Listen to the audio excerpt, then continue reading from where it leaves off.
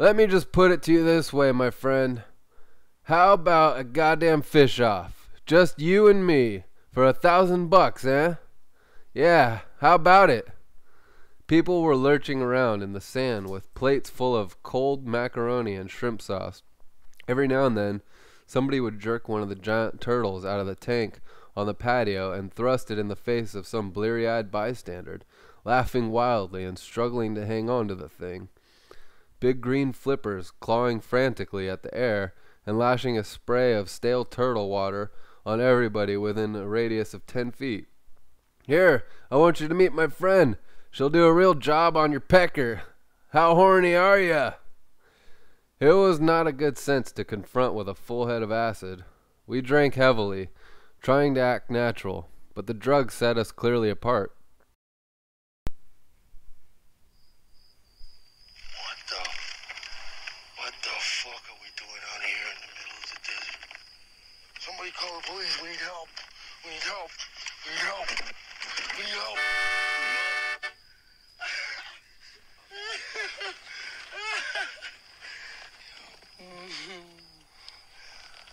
The truth. Truth?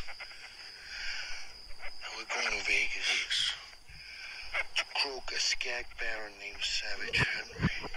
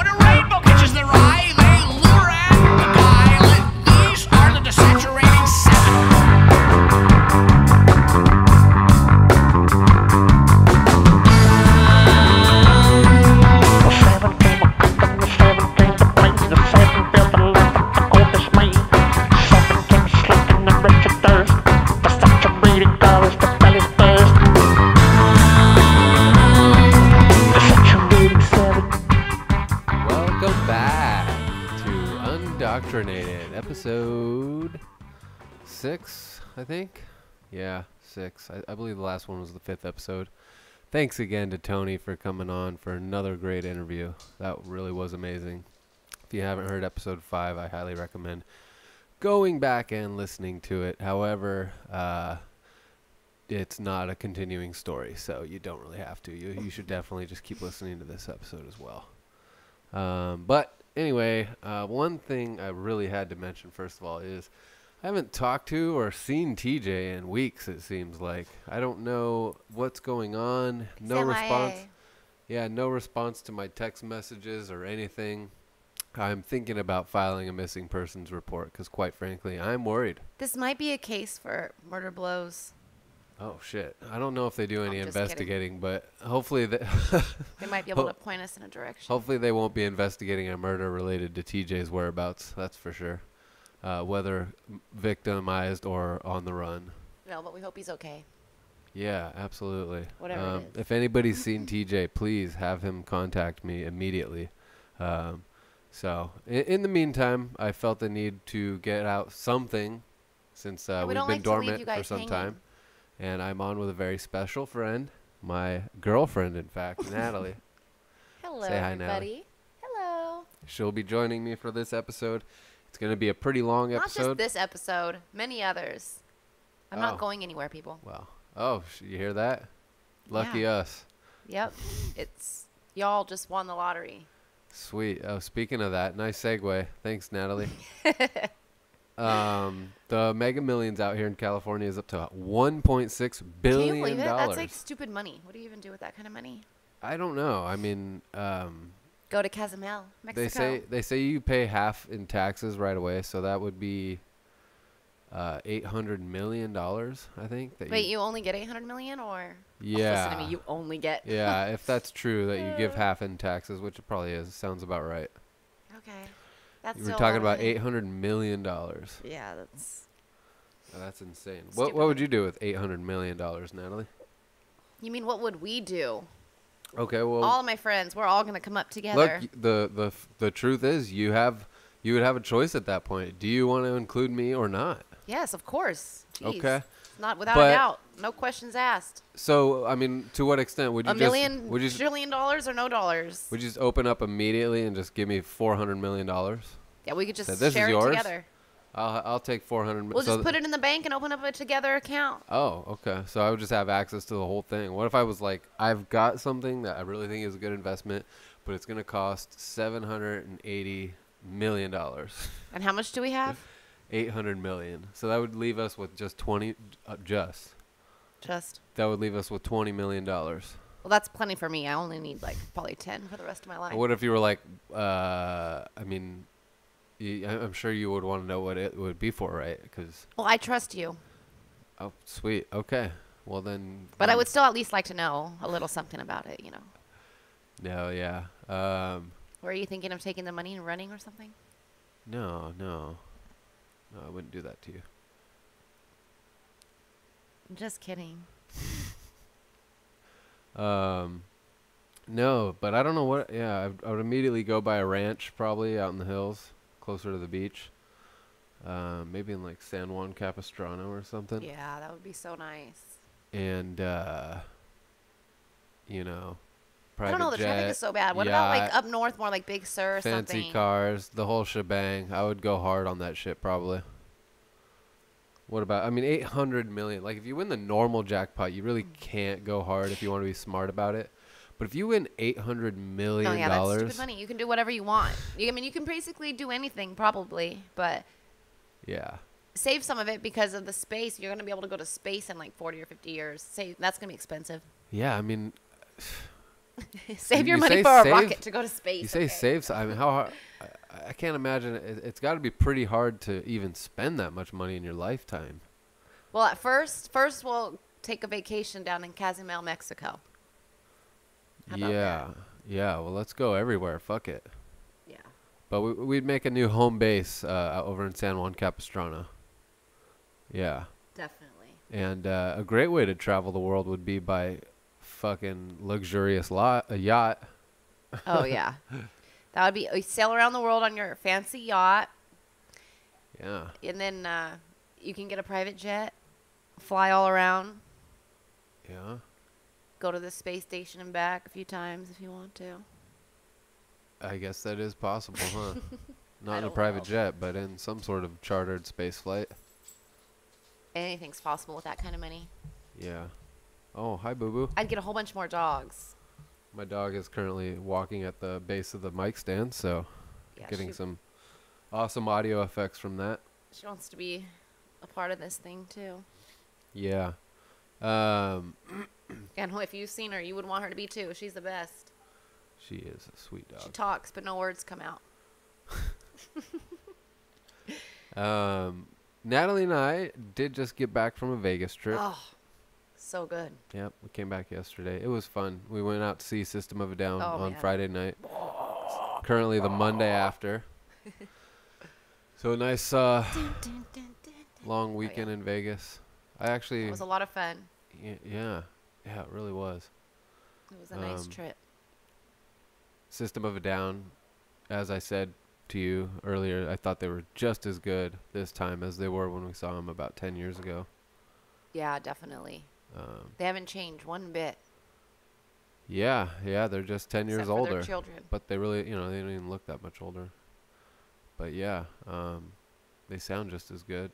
The live show was just as impressive. I thought we had really good seats for both of those concerts. Oh yeah, and I almost caught a drumstick. The person literally in the seat behind me caught the drumstick. That's right.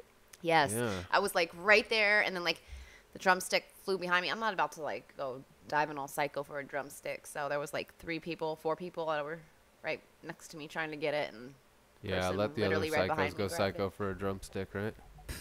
like all those people down below, hundreds, toppling each other for a s- drum, drumstick. Hey, Liberty, come on. I'm trying to record a podcast here. You take it easy or go do that in the other room. Oh my goodness. Should we get her a mic? I think so. Um, She's got a lot to say. So Anyway, like I mentioned earlier, TJ's not here for this episode. We're Yeah, we're hoping he'll be back soon. less than prepared to do a full episode here, but Oh no, we have something great in store for you guys. That's right. You don't even know.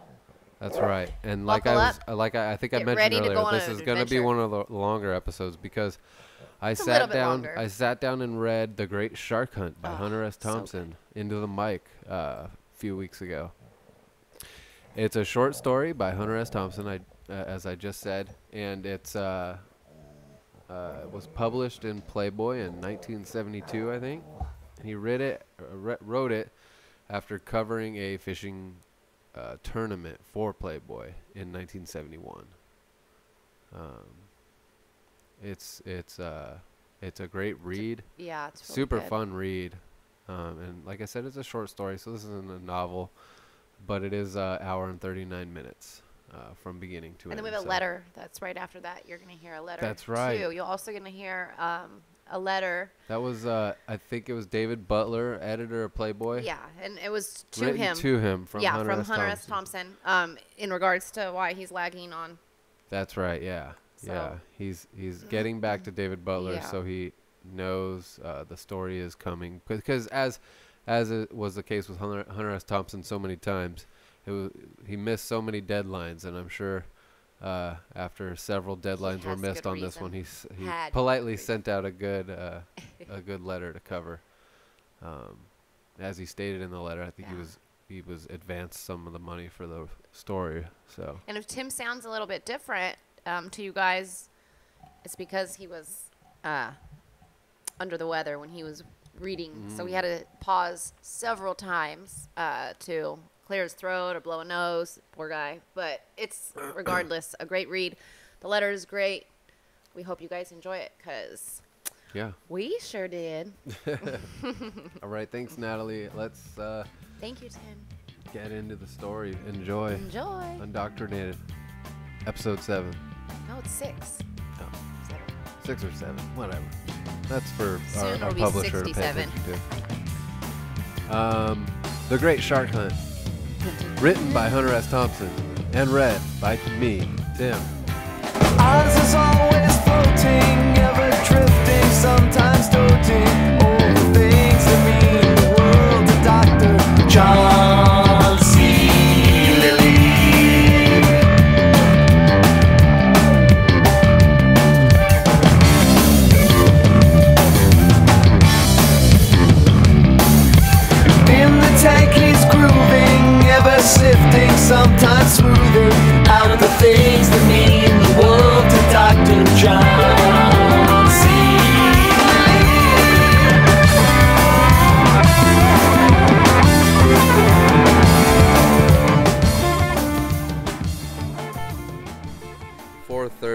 Cozumel now.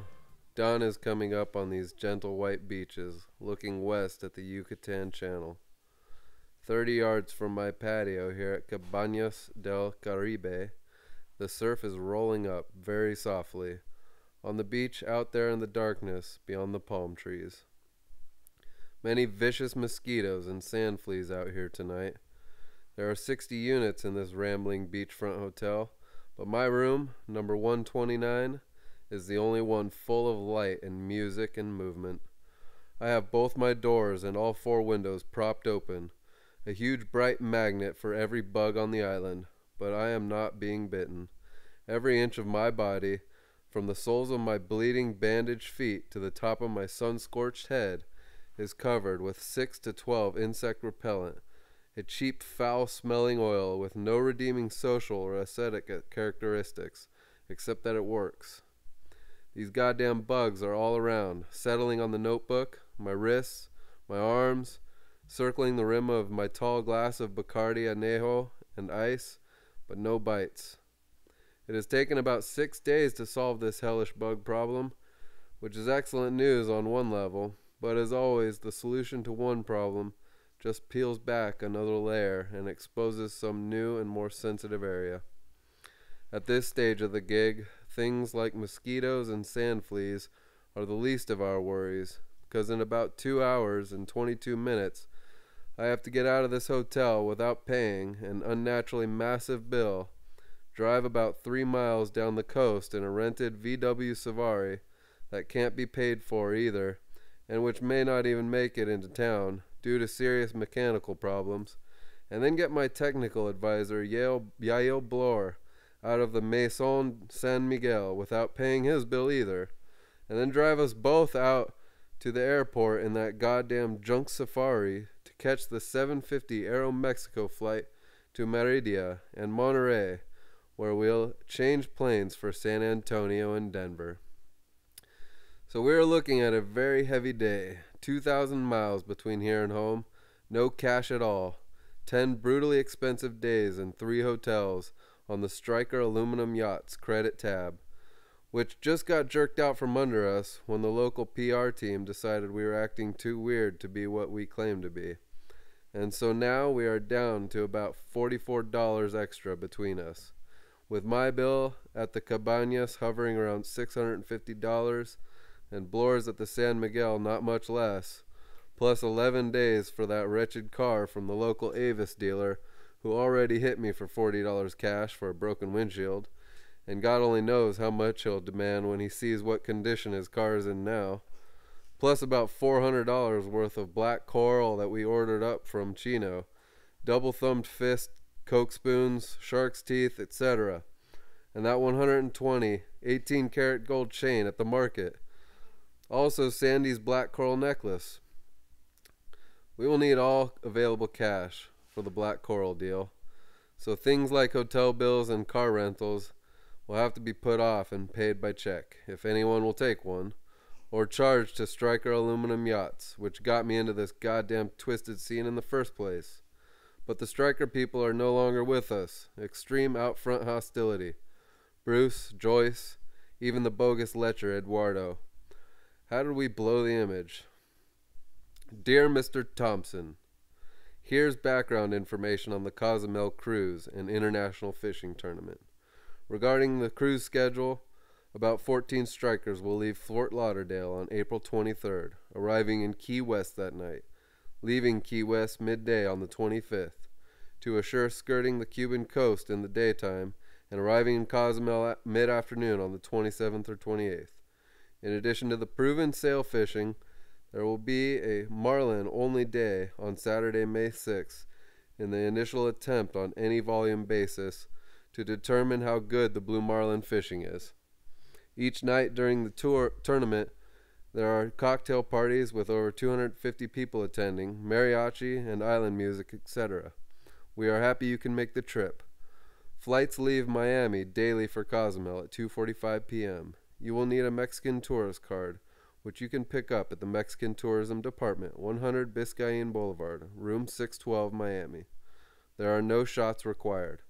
Sincerely, Terrence J. Byrne, Public Relations Representative, Striker Aluminum Yachts, Fort Lauderdale, Florida. Indeed, no shots. Just a tourist card, plenty of Coppertone, and a pair of top siders, and a fine gringo smile for the customs officers. The letter called up visions of heavy sport on the high seas, mano a mano, with giant sailfish and the world record marlin, reeling the bastards in, fighting off the sharks with big gaffs, strapped into a soft white Naugahyde fighting chair in the cockpit of a big power cruiser. Then back to the harbor at dusk for a brace of gin and tonics, tall drinks in the sunset, lounging around in cool deck chairs while the crew chops up bait and a strolling mariachi band roams on the pier, wailing mournful Olmecs love songs. Ah, yes, I was definitely ready for it. Sixteen months of straight politics had left me reeling around on the brink of a nervous breakdown. I needed a change, something totally different from my normal line of work. Covering politics is a vicious, health ripping ordeal that often requires eight or nine shots at once, twice or three times a week in the peak season. So, this unexpected assignment to cover a deep sea fishing tournament off the Yucatan coast of Mexico was a welcome relief from the horrors of the campaign trail in 1972. Right, things would be different now. Hot sun, salt air, early to bed and early to rise. This one had all the signs of a high style bag job. Fly off to the Caribbean as a guest of the idle rich hang around on their boats for a week or so, and then crank out a left handed story to cover expenses and pay for a new motorcycle back in the Rockies. The story itself was a bit on the hazy side, but the editor at Playboy said not to worry. Almost everybody unfortunate enough to have had any dealings with me since the campaign ended seemed convinced that I was in serious need of a vacation. A cooling out period, a chance to back off, and this fishing tournament in Cozumel looked just about perfect. It would pry my head out of politics, they said, and force me off in a new direction. Out of the valley of death and back towards the land of the living. There was, however, a kink. I had just come back from vacation. It was the first one I'd ever attempted, or at least the first one I'd tried since I was fired from my last regular job on Christmas Day in 1958, when the production man manager at Time magazine ripped up my punch card in a stuttering rage and told me to get the fuck out of the building. Since then, I had been unemployed, in the formal sense of that word, and when you've been out of work for 14 years, it's almost impossible to relate to a word like vacation. So I was extremely nervous when circumstances compelled me, in the late winter of 72, to fly to Cozumel with my wife, Sandy, in order to do nothing at all. Three days later, I ran out of air in a riptide 90 feet down on Palancar Reef, and came so close to drowning that they said later I was lucky to get off with a serious case of the bends. The nearest decompression chamber was in Miami, so they chartered a plane and flew me there that same night. I spent the next 19 days in a pressurized sphere somewhere in downtown Miami, and when I finally came out, the bill was $3,000. My wife finally located my attorney in a drug commune on the outskirts of Mazatlan. He flew immediately to Florida and had the courts declare me a pauper, so I was able to leave without legal problems. I went back to Colorado with the idea of resting for at least six months. But three days after I got home, this assignment came in to cover the fishing tournament. It was a natural, they said, because I was already familiar with the island, and besides, I needed a change from politics. Which was true in a way, but I had my own reasons for wanting to go back to Cozumel. On the evening before my near fatal scuba dive on Palancar Reef, I had stashed 50 units of pure MDA in the adobe wall of the shark pool at the local aquarium next to the Hotel Barracuda. And this stash had been much on my mind while I was recovering from the bends in the Miami hospital. So when the Cozumel assignment came through, I drove immediately into town to consult with my old friend and drug crony Yail Bloor. I explained the circumstances in detail, then asked for his advice. It's clear as a fucking bell, he snapped. We'll have to go down there at once. You'll handle the fishermen while I get the drugs. These were the circumstances that sent me back to Cozumel in late April. Neither the editor nor the high powered sport fishing crowd we'd be dealing with had any notion of my real reason for making the trip. Bloor knew, but he had a vested interest in maintaining the cover because I was passing him off on the tab as my technical advisor.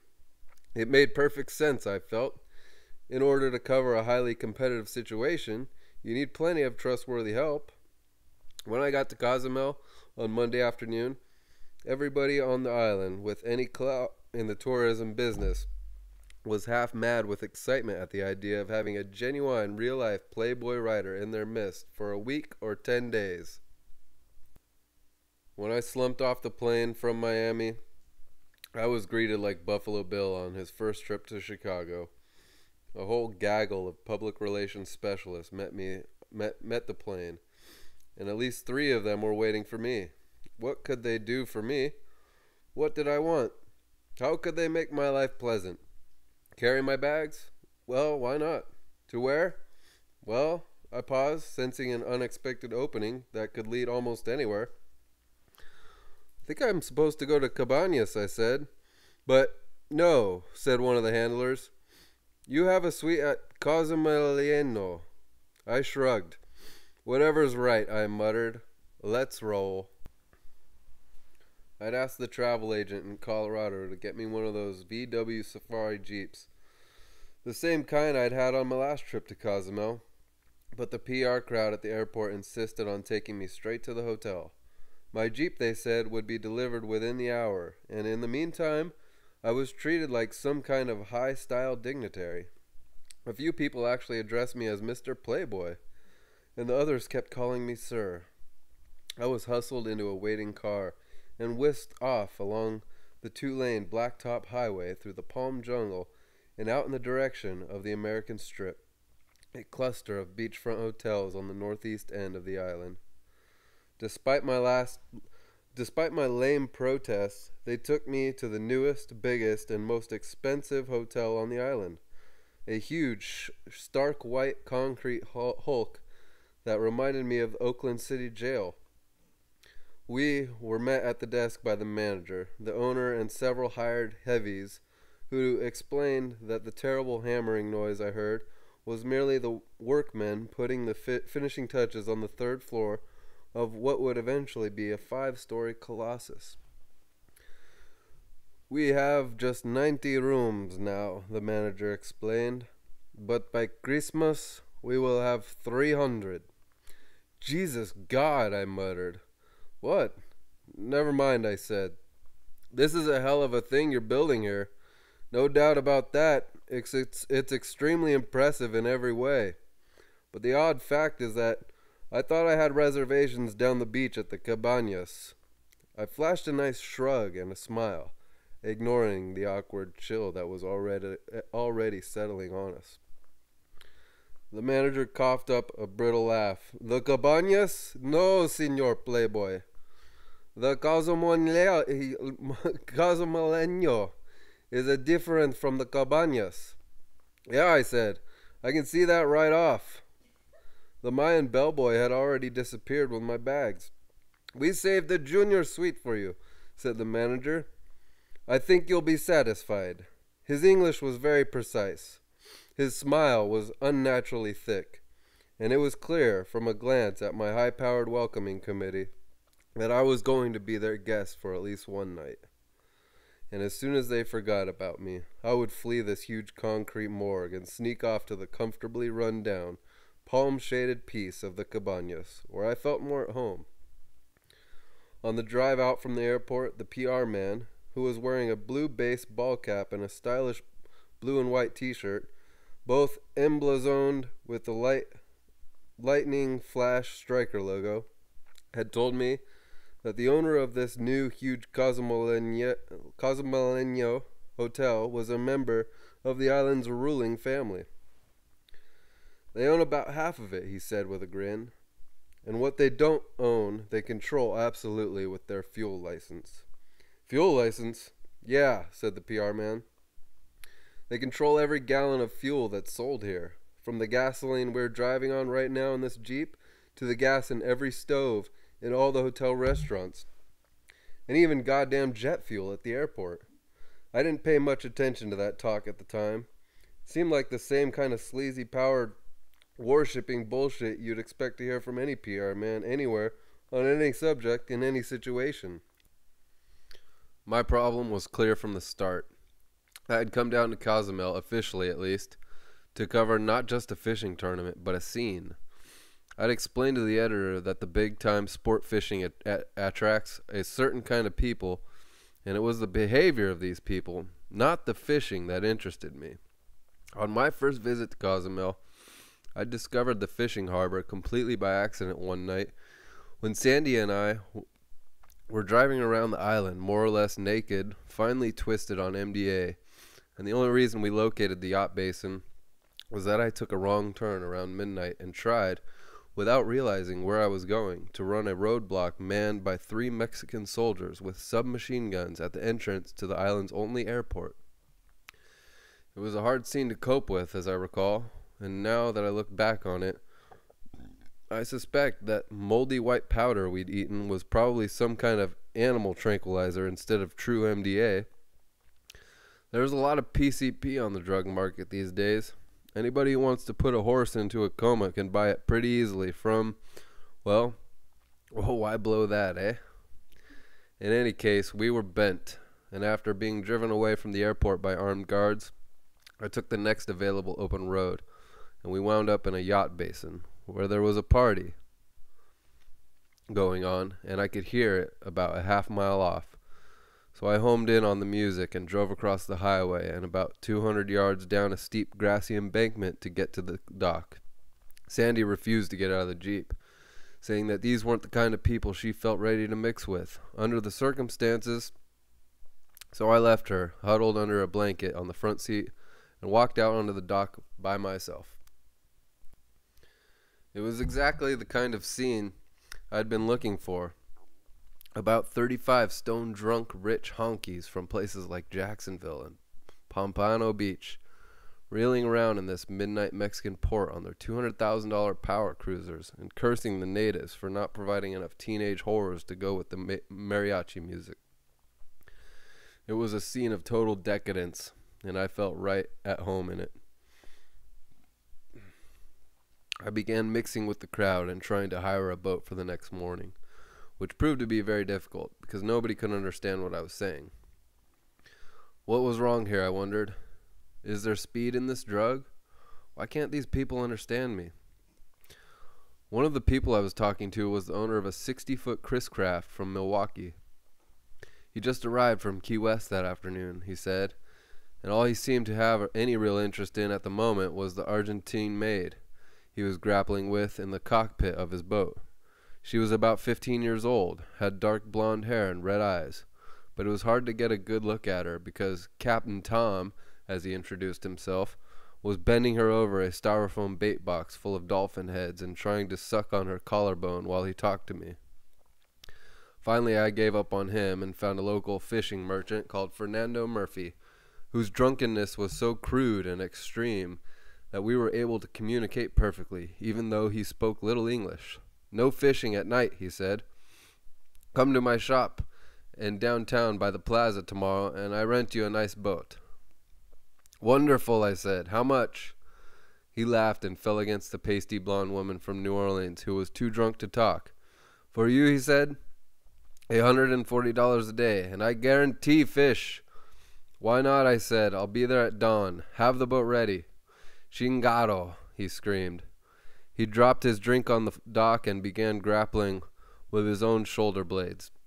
I was taken aback at his outburst, not understanding for a moment until I saw that a laughing 300 pound man wearing Levi's and a red baseball hat in the cockpit of a nearby boat called Black Snapper had hooked the back of Murphy's shirt with a 30 pound marlin rod and was trying to reel him in. Murphy staggered backwards, screaming, Chingado! Once again as he fell sideways on the dock and ripped his shirt open. Well, I thought, no point trying to do this business with this crowd tonight, and in fact, I never fished on that I never fished on that trip. But the general tone of that party was had stayed with me, a living caricature of white trash run amuck on foreign shores, an appalling kind of story, but not without a certain human interest quotient. On the first day of the tournament, I spent eight hours at sea aboard the eventual winner, a 54 foot striker called Sundancer, owned by a middle aged industrialist named Frank Oliver from Palatka, Florida. Oliver ran a fleet of barges on the inland waterway out of Jacksonville, he said, and Sundancer was the only boat in Cozumel harbor flying a Confederate flag. He had about 325,000 in it, including a network of built-in vacuum cleaner wall plugs for the deep pile carpets. And although he said he spent maybe 5 weeks out of the year on the boat, he was a very serious angler and he meant to win this tournament. To this end, he had hired one of the world's top fishing captains, a speedy little cracker named Cliff North, and turned Sundancer over to him on a year-round basis.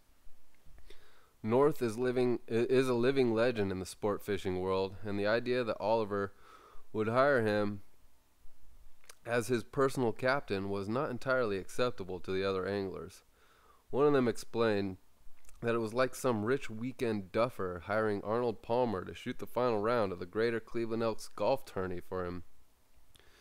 North lives on the boat with his wife and two young mates who do all the menial, menial work And during the 10 months of the year when Oliver's not around, he charters Sundancer out to anybody who can pay the rate.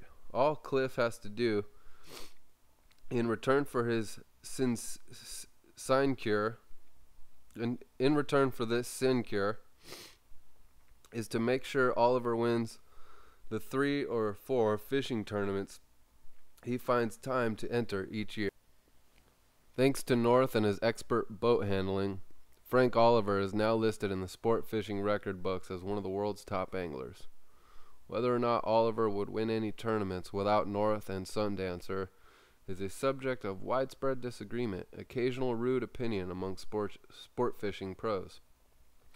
Not even the most egotistical anglers will deny that a good boat and a hot rod captain to handle it are crucial factors in ocean fishing, but there is a definite division of opinion between anglers, who are mainly rich amateurs, and pros, the boat captains and crews, about the relative value of skills.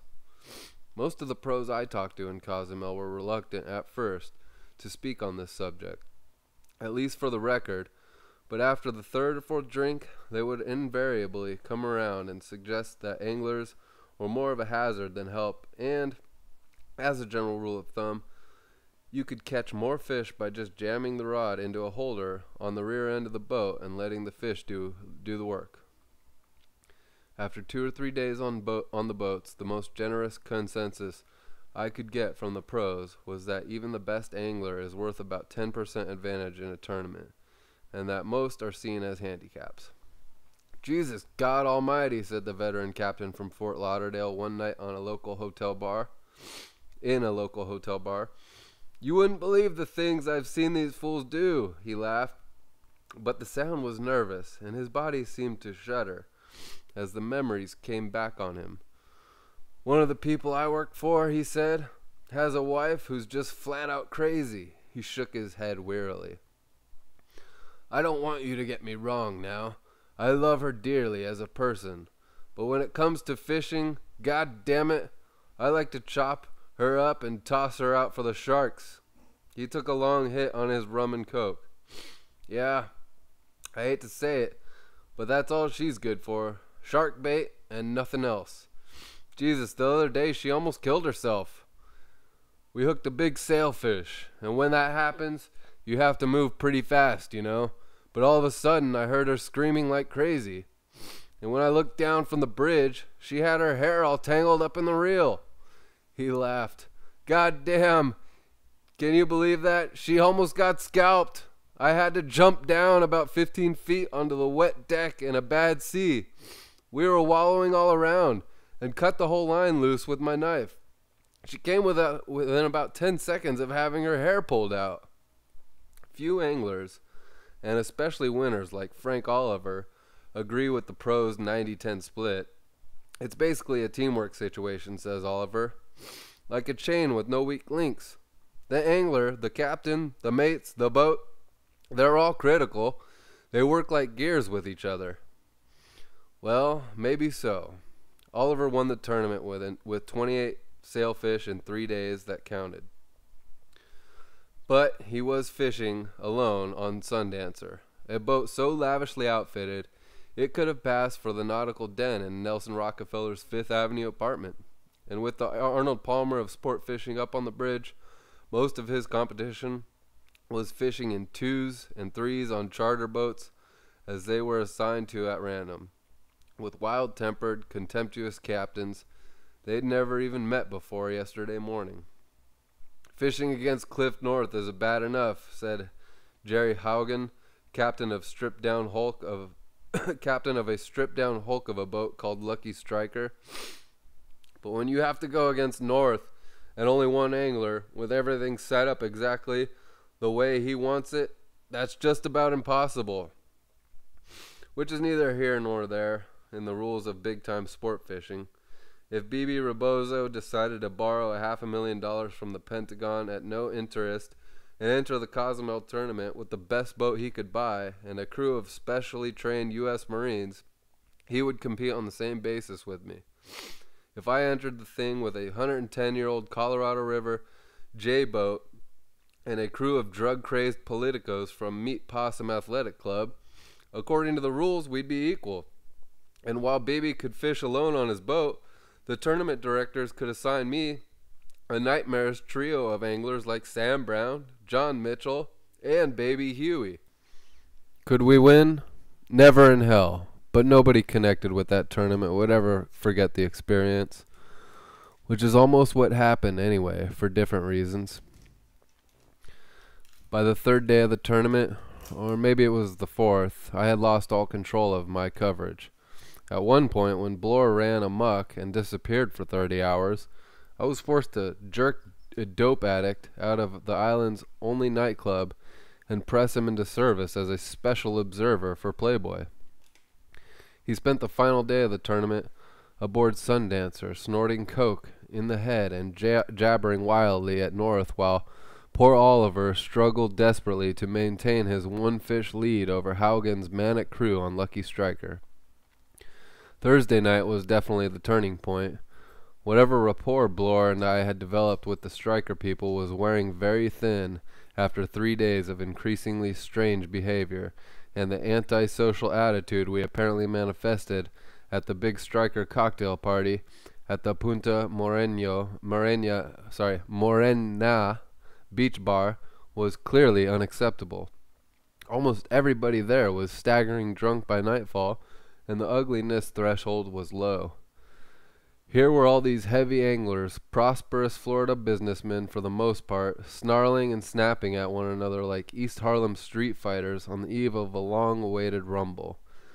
You pot bellied asshole! You couldn't catch a fish in a goddamn barrel!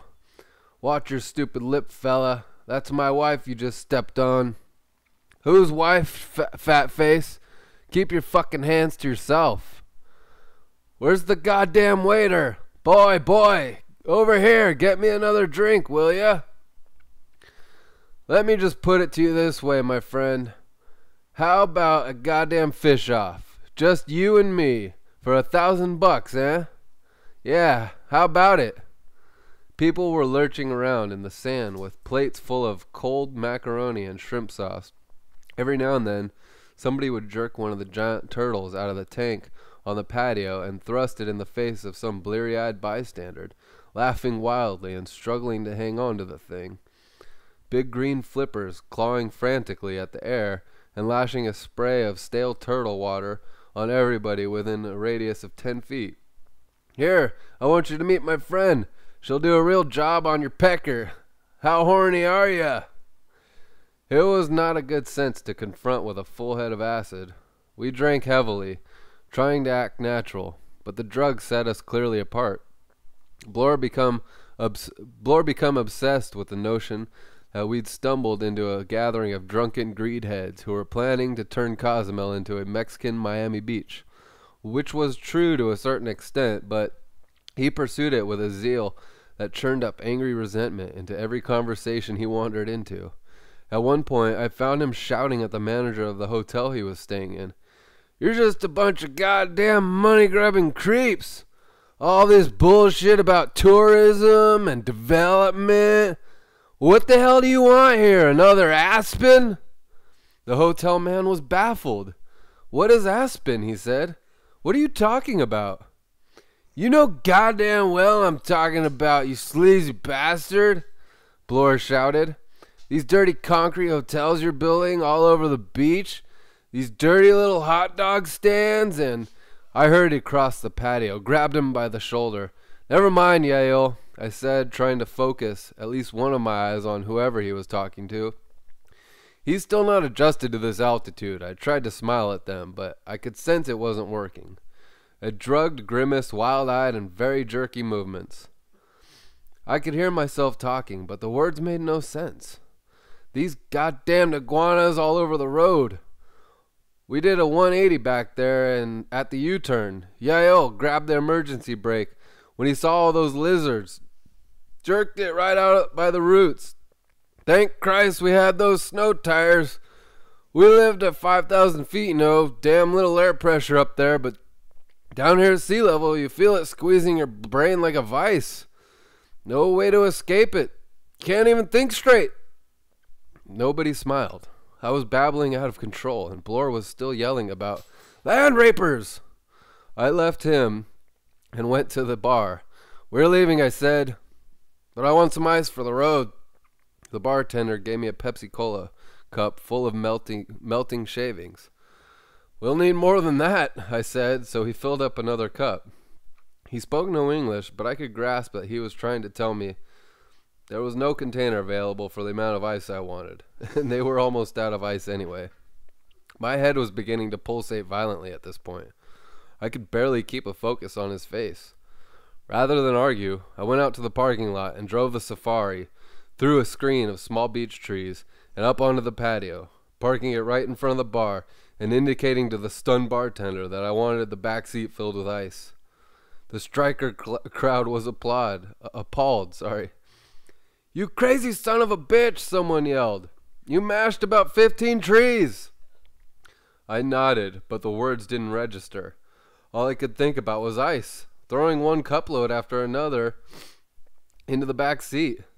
The acid by this time had fucked up my vision to the point where I was seeing square out of one eye and round out of the other.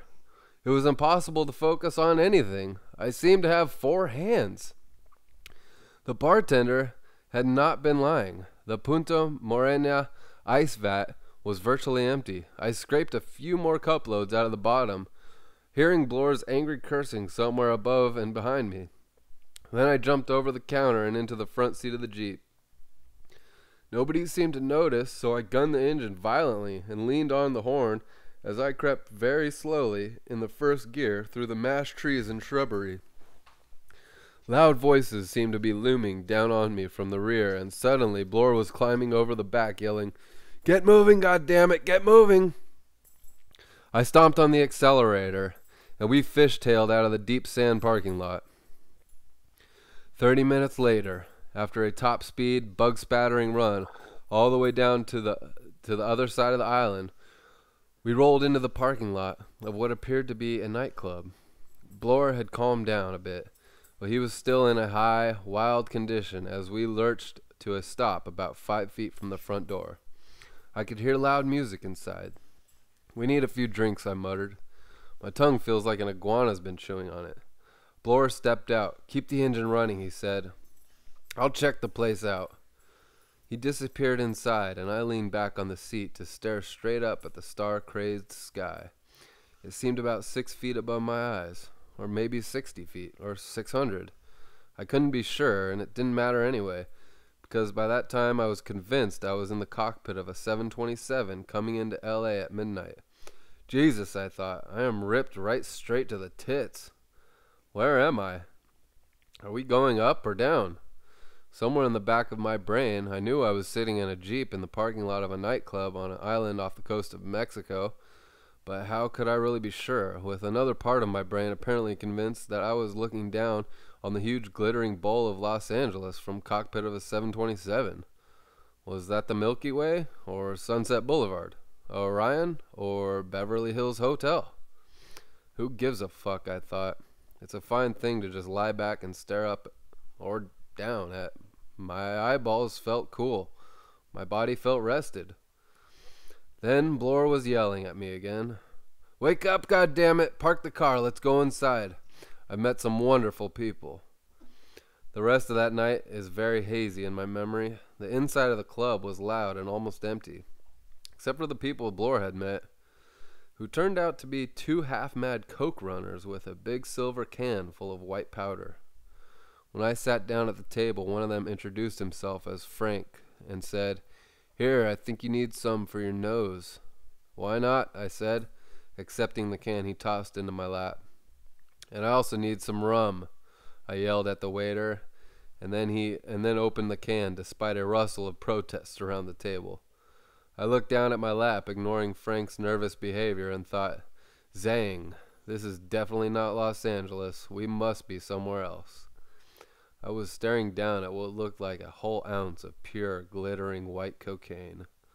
My first instinct was to jerk a hundred peso note out of my pocket and quickly roll it up for a snort for snorting purposes. But by this time, Frank had his hand on my arm. For Christ's sake, he he was whispering. Don't do that shit here. Take it in the bathroom. Which I did. It was a difficult trip through all those chairs and tables, but I finally managed to lock myself in the toilet stall and start lashing the stuff up my nose with no thought at all of the ominous noise I was making.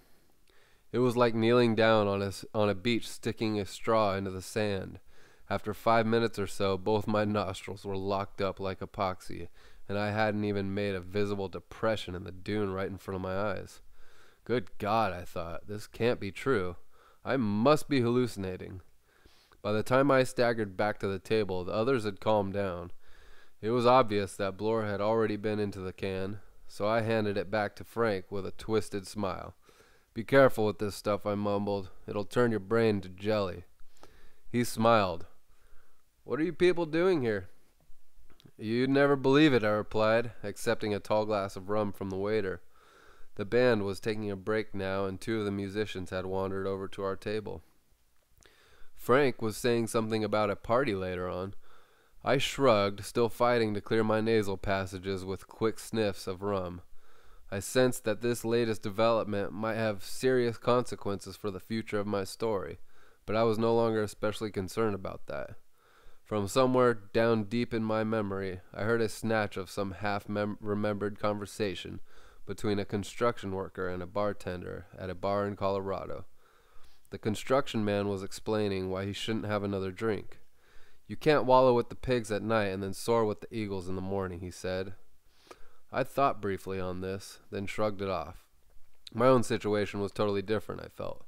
In about three hours, I was supposed to be down on the docks with my camera and tape recorder to spend another day on one of those goddamn boats. No, I thought, that geek in Colorado had it all wrong. The real problem is how to wallow with the eagles at night and then soar with the pigs in the morning. In any case, it made no difference. For a variety of reasons, I missed my boat the next morning and spent the afternoon passed out in the sand on an empty beach about 10 miles out of town. By Friday night, it was clear that the story was not only a dry hole, but maybe even a dry socket.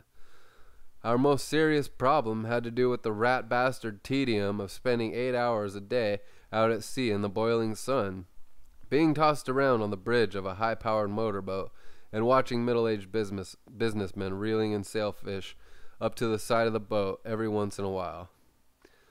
Both Bloor and I had spent a full day at sea, on the only boats in the tournament getting any real action Sundancer and Lucky Striker, and by dusk on Friday, we had pretty well come to the conclusion that deep sea fishing is not one of your King Hill spectator sports.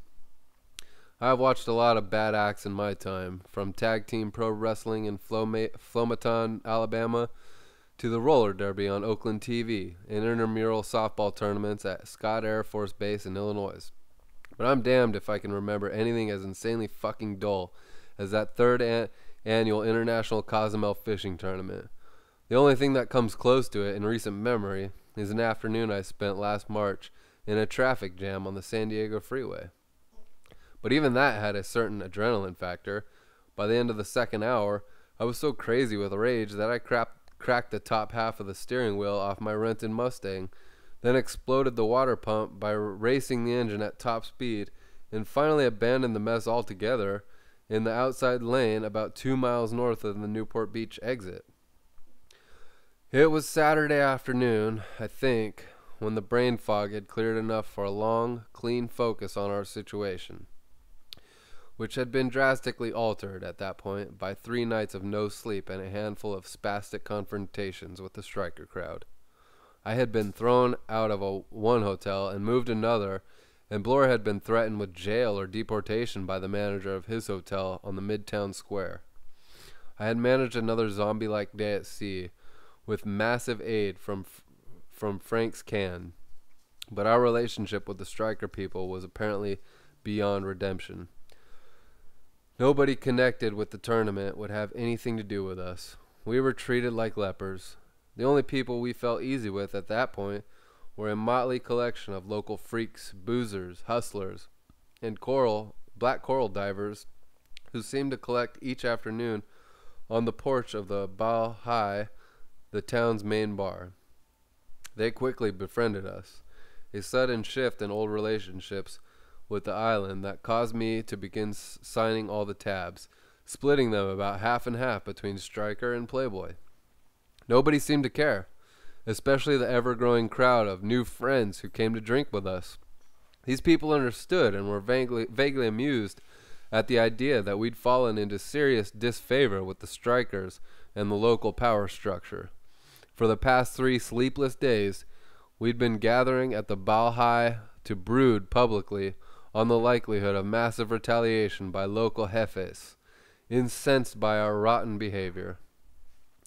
It was sometime around dusk on Saturday, hunkered down at a big round table on the Balhai porch, that I noticed the pea green Mustang making its second pass in less than ten minutes. There was only one pea green Mustang on the island, and one of the divers had told me it belonged to the mayor, a heavy set young Pole and an appointed, not elected, official who looked like a beer bellied lifeguard on some beach at Acapulco. He had seen me often in the past few days, usually in the late afternoon, and always cruising up and down the seaside frontera. That son of a bitch is beginning to make me nervous, Mor- Bloria muttered. Don't worry, I said. They won't shoot. Not as long as we're here in the crowd. What? A gray haired woman from Miami sitting next to us had caught the word shoot. It's the striker crowd, I explained. We hear they've decided to get heavy with us. Jesus Christ, said a retired airline pilot who'd been living off his boat and the Balhai porch for the past few months. You don't think they'll start shooting, do you? Not on a peaceful island like this? I shrugged. Not here. They wouldn't shoot into a crowd. But we can't let them catch us alone. The woman from Miami started to say something, but Bloor cut her off with an outburst that spun heads the length of the porch. They're in for the shock of their goddamn lives tomorrow, he snarled. Wait till they see what gets off that goddamn ferry from Playa del Carmen in the morning. What the hell are you talking about? the ex pilot asked. Bloor said nothing, staring blankly out to sea. I hesitated a moment, then instinctively picked up the thread. Heavies, I said. We made some calls last night. Tomorrow morning, they'll come off the boat like a pack of goddamn wolverines. Our friends at the table were glancing nervously at one another. Violent crime is almost unheard of on Cozumel. The native oligarchy is into far more subtle varieties.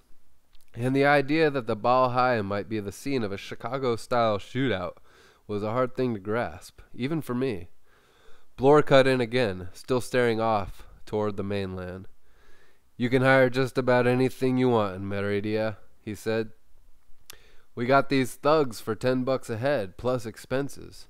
They'll crack every skull on the island if they have to. Then burn every one of those goddamn redneck boats right down to the waterline. Nobody spoke for a moment. The woman from Miami and the retired airline pilot got up to leave. See you later, the man said stiffly. We have to get back to the boat and check things out. Moments later, the two divers who'd been sitting with us also left, saying they'd probably see us tomorrow at the striker party. Don't count on it, Bloor muttered. They grinned nervously and sped off down the frontera on their tiny Hondas. We were left alone at the big round table, sipping margaritas and staring out at the sunset over the Yucatan Peninsula, twelve miles across the uh, across the channel. After a few long moments of silence, Bloor reached into his pocket and came up with a hollowed out glass eye he had bought from one of the street peddlers. There was a silver cap on the back, and he flipped it up, then jammed the straw from his margarita into the hole and snorted heavily before handing it over to me. Here, he said, try some of Frank's best. The waiter was hovering over us, but I ignored him until I realized I was having problems. Then I looked from the eyeball in my hands and asked for two more drinks and a dry straw.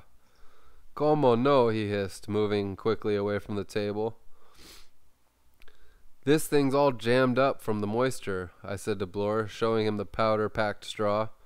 We'll have to slice it open. Never mind, he said. There's plenty more where that came from. I nodded, accepting a fresh drink and about six dry straws from the waiter. You notice how fast our friends left? I said, bearing down on the eyeball again. I suspect they all. I, I su- suspect they believed all that gibberish. He sipped his own new drink and stared at the glass eye in my hand. Why shouldn't they? He mumbled. I'm beginning to believe it myself. I felt a great numbness in the back of my mouth and in my throat as I snapped the cap shut and handed the eyeball back to him. Don't worry, I said. We're professionals. Keep that in mind. I am, he said, but I'm afraid they might figure that out. It was late Saturday night, as I recall, when we leaned, learned that Frank Oliver had officially won the tournament by one fish ahead of the balls out poor boy crew on Lucky Striker. I wrote this down in my notebook as we roamed around the dock where the boats were tied up. Nobody urged us to come abroad for a friendly drink, as I heard some of the anglers put it to the others on the dock, and, in fact, there were only a few people who spoke to us at all. Frank and his friend were sipping beers at the open air bar nearby, but his kind, hos- kind of hospitality was not in tune with his scene, with this scene. Jack Daniels and heavy petting on the foredeck is about as heavy as the striker crowd gets. And after a week of mounting isolation from this scene, I was supposed to be covering. I was hung on the dark and ugly truth that my story was fucked. Not only did the boat people view me with gross disapproval, but most of them no longer even believed I was working for Playboy. All they knew for sure was that there was something very strange and off center, to say the least, about me and all my assistants. Which was true in a sense, and this feeling of alienation on both sides was compounded on ours by a galloping drug-induced paranoia that honed each day each small incident with every passing day to a grim and fearful edge. The paranoid sense of isolation was bad enough, along with trying to live in two entirely different worlds at the same time. But the worst problem of all was the fact that I'd spent a week in this goddamn wretched story and I still didn't have the flimsiest notion of what deep sea fishing felt like. I had no idea what it was like to actually catch a big fish. All I'd seen was a gang of frantic redneck businessmen occasionally hauling dark shadows up to the side of various boats, just close enough to where some dollar an hour mate could cut the leader and score a point for the angler. During the whole week, I'd never seen a fish out of the water except on the rare occasions when a hooked sailfish had jumped for an instant, 100 or so yards from the boat, before going under again for the long reeling in trip that usually took 10 or 15 minutes of silent struggle and always ended with the fish either slipping the hook or being dragged close enough to the boat to be tagged, then cut loose. The anglers assured me it was all a great thrill, but on the evidence I couldn't believe it. The whole idea of fishing, it seemed to me, was to hook a thra- thrashing sea monster of some kind and actually boat the bastard, and then eat it. All the rest seemed like dilettante bullshit, like hunting wild boar with a can of spray paint from the safety of a pickup truck. And it was this half-crazed sense of frustration that led me to finally fi- led me finally to start wandering around the docks and trying to hire somebody to take me and Bloor out at night to fish for man-eating sharks. It seemed like the only way to get a real feel for this sport, to fish or hunt, or something genuinely dangerous, a beast that would tear your leg off in an instant if you made the slightest mistake. This concept was not widely understood on the dock in Cozumel. The businessmen anglers saw no point in getting the cockpit in getting the cockpits of their expensive tubs messed up with real blood, and especially not theirs. But I finally found two takers. Jerry Haugen on Lucky Striker, and a local Mayan captain who worked for Fernando Murphy. Both of these efforts ended in disaster, for entirely different reasons and al- also at different times. But for the record, I feel a powerful obligation to record at least a brief observation about our shark hunting expeditions off the coast of Cozumel. The first is that I saw more sharks by accident while scuba diving during the daylight hours than I did during either of our elaborate big money nighttime hunts off the fishing boats. And the second is that anybody who buys anything more complex or expensive than a bottle of beer on the waterfront of Cozumel is opting for serious trouble. Cerveza Superior at 75 cents a bottle on the porch of the Bali Hai is a genuine bargain, if only because you know what you're getting. Compared with the insanely and even fatally inept deep sea fishing and scuba diving tours offered at dockside shacks like El Timon or Fernando Murphy's.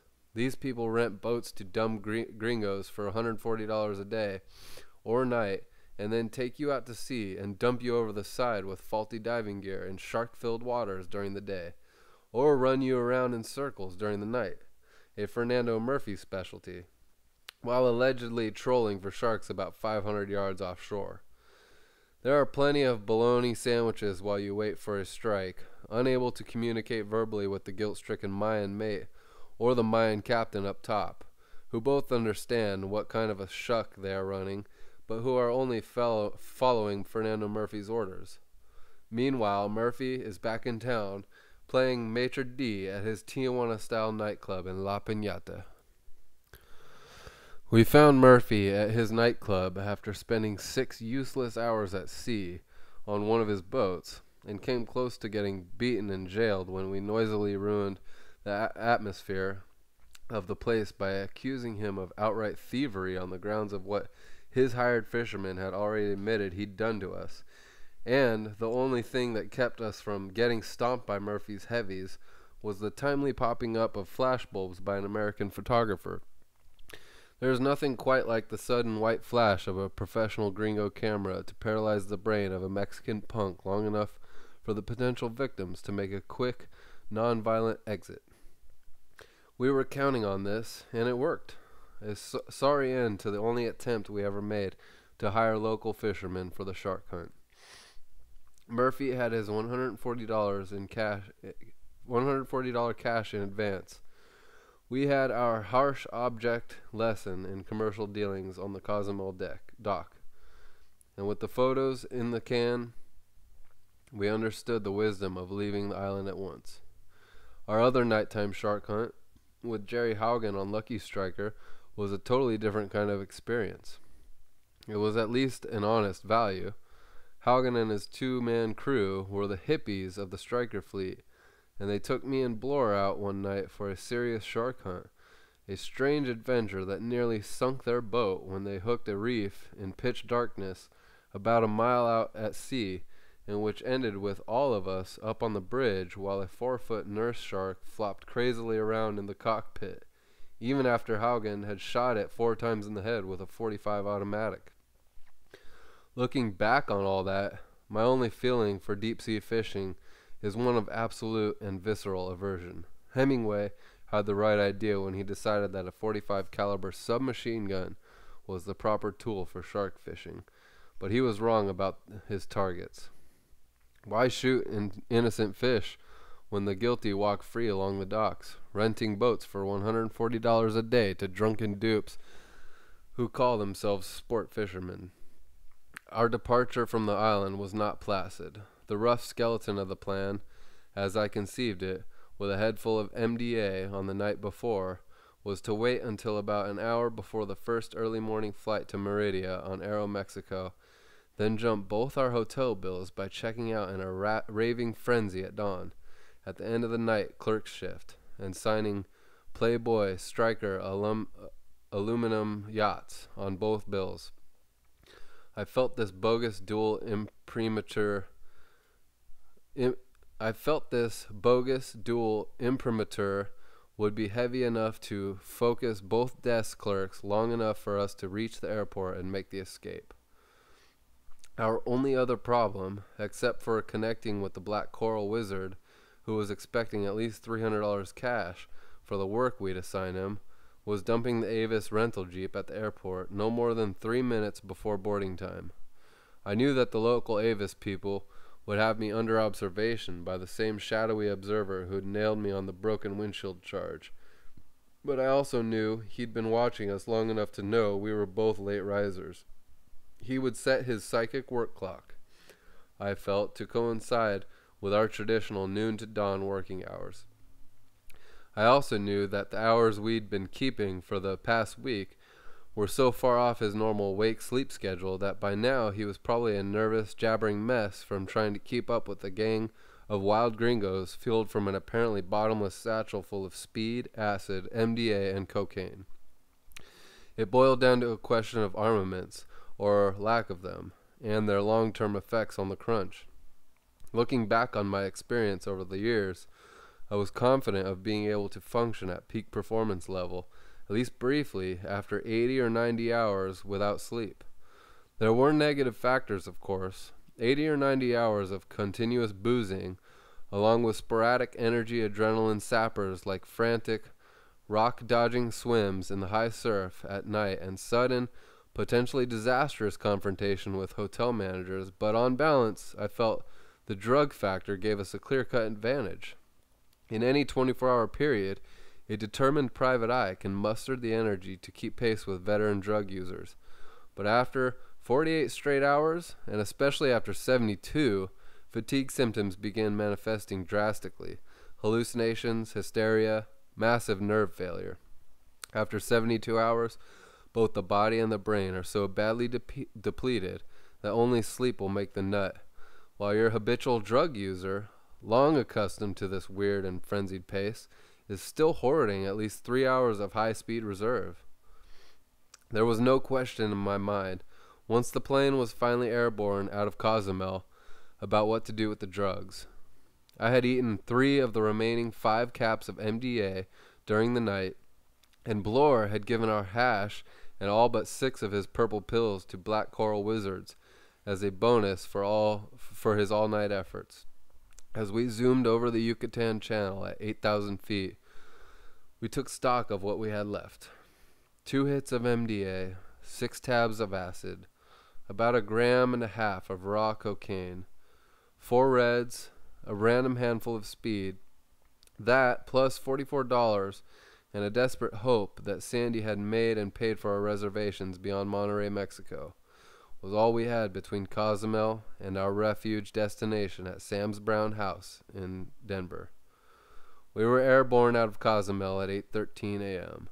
Mountain Daylight Time, and if everything went right, we would arrive at Denver's Stapleton International Airport before 7. We'd been airborne for about 8 minutes when I looked over at Bloor and told him what I'd been thinking. We don't have enough drugs here to risk carrying them through customs, I said. He nodded thoughtfully. Well, we're pretty well fixed for poor boys. Yeah, I replied, but I have my professional reputation to uphold. And there's only two things I've never done with drugs sell them or take them through customs, especially when we can replace everything we're holding for about $99 just as soon as we get off the plane. He hunkered down in his seat, saying nothing. Then he stared across at me. What are you saying? That we should just throw all this shit away? I thought for a moment. No, I think we should eat it. What? Yeah, why not? They can't bust you for what's already dissolved in your belly, no matter how weird you're acting. Jesus Christ, he muttered. We'll go stark raving nuts if we eat all this shit. I shrugged. Keep in mind where we'll be when we hit customs, I said. San Antonio, Texas. Are you ready to get busted in Texas? He stared down at his fingernails. Remember Tim Leary, I said. Ten years for three ounces of grass in his daughter's panties. He nodded. Jesus. Texas? I forgot. I had forgotten about that. Not me, I said. When Sandy went through customs in San Antonio about three weeks ago, they tore everything she was carrying apart. It took her two hours to put it back together. I could see him thinking. Well, he said finally, what if we eat this stuff and go crazy and they nail us? Nothing, I said. We'll drink heavily. If we're seized, the stewardess will testify we were drunk. He thought for a moment, then laughed. Yeah, just a couple of good old boys, OD'd on booze. Nasty drunks staggering back into the country after a shameful vacation in Mexico. Totally fucked up. Right, I said. They can strip us down to the skin. It's no crime to enter the country helplessly drunk. He laughed. You're right. What do we start with? We should eat it all at once. That's we shouldn't eat it all at once. That's too heavy. I nodded, reaching into my pocket for the MDA and offering him one as I tossed the other into my mouth. Let's eat some of the acid now too, I said. That way we'll be adjusted to it by the time we have to eat the rest, and we can save the coke for emergencies. Along with the speed, he said. How much do you have left? Ten hits, I said. Pure white amphetamine powder. It'll straighten us right out if things get tense. You should uh, you should save that for the end, he said. We can use this coke if we start getting messy. I swallowed the purple pill, ignoring the Mexican stewardess with her tray of sangria. I'll have two, Bloor said, reaching across me. Same here, I said, lifting two more off the tray. Bloor grinned at her. Pay no attention. We're just tourists, down here, making fools of ourselves. Moments later, we hit down on the runway in Merida. But it was a quick and painless stop. By 9 a.m., we were cruising over central Mexico at 20,000 feet, headed for Monterrey. The plane was half empty, and we could have moved around if we'd wanted to, but I, gr- I glanced across at Bloor, trying to use him as a mirror for my own condition, and decided that wandering around in the aisles would not be wise. Making yourself noticeable is one thing, but causing innocent passengers to shrink off with feelings of shock and repugnance is a different game entirely. One of the few things that can't be controlled about acid is the glitter it puts in the eyes. No amount of booze will cause the same kind of laughing, that fine predatory glow that comes with the first rush of acid up the spine. But Bloor felt like moving. Where's the goddamn head? he muttered. Never mind, I said. We're almost to Monterrey. Don't attract attention. We have to check through immigration there. He straightened up in his seat. Immigration? Nothing serious, I said. Just turn in our tourist cards and see about the tickets to Denver. But we'll have to act straight. Why? he asked. I gave it some thought. Why, indeed? We were clean, or almost clean, anyway. About an hour out of Merida, we'd eaten another round of acid, which left, left us with two or more of those, plus four reds and the coke and the speed. The luck of the split had left me with the speed and the acid. Bloor had the coke and the reds, and by the time the abroche su cinturon fastened seatbelts sign flashed on above the Monterrey, we agreed, more or less, that anything we hadn't eaten by the time we got to Mex- to Texas would have to be flushed down the stainless steel john in the plane's lavatory. It hadn't taken about 45 tortured minutes to reach this agreement. I'm sorry, it had taken about 45 tortured minutes to reach this agreement because by that time, neither one of us could speak clearly. I tried to whisper through gritted teeth, but each time I succeeded in uttering a coherent sentence, my voice seemed to echo around the cabin like I was mumbling into a bullhorn. At one point, I leaned over as close as possible to Bloor's ear and hissed, Reds, how many? But the sound of my own voice was such a shock that I recoiled in horror and tried to pretend I'd said nothing. Was the stewardess staring? I couldn't be sure. Bloor had seemed not to notice, but suddenly he was thrashing around in his seat and clawing frantically underneath himself with both hands. What the fuck? he was screaming. Quiet, I snapped. What's wrong with you? He was jerking at his seatbelt, still shouting. The stewardess ran down the aisle and unbuckled it for him. There was fear in her face as she backed off and watched him spring out of his seat. God damn you clumsy bastard, he yelled. I stared straight ahead. Jesus, I thought, he's blowing it. He can't handle the acid. I should have abandoned this crazy bastard in Cozumel. I got my teeth grinding as I tried to ignore his noise. Then I glanced across and saw him groping between the seats and coming up with a smoldering cigarette butt. Look at this, he shouted at me. He was holding the butt in one hand and fondling the back of his thigh with the other. Burned a big hole in my pants, he was saying. He just spit this dirty thing right down in my seat. What? I said, feeling in front of my mouth for the cigarette in my filter. But the filter was empty, and I suddenly understood. The fog in my brain suddenly cleared, and I heard myself laughing. I warned you about these goddamn bonanzas, I said. They'll never stick in the filter. The stewardess was pushing him back down into his seat. Fasten belts, she kept saying. Fasten belts. I grabbed his arm and jerked downward, pulling him off balance and causing him to fall heavily onto the back of the seat. It gave way and collapsed on the legs of who, whoever was sitting behind us. The stewardess jerked it quickly back to the upright position, then reached down to fasten Bloor's seatbelt. I saw his left arm snake out and settle affectionately around her shoulders. Good God, I thought, this is it. I could see the headlines in tomorrow's news. Drug fracas on airliner near Monterrey. Gringos jailed on arson, assault charges. But the stewardess only smiled and backed off a few steps, dismissing Bloor's crude advance with a slap at his arm and an icy professional smile. I tried to return it, but my face was not working properly. Her eyes narrowed.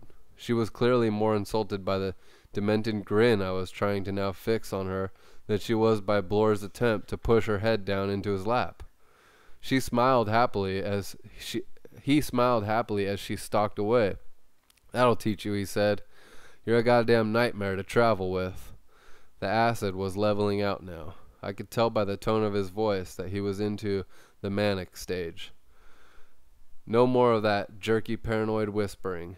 He was feeling confident now.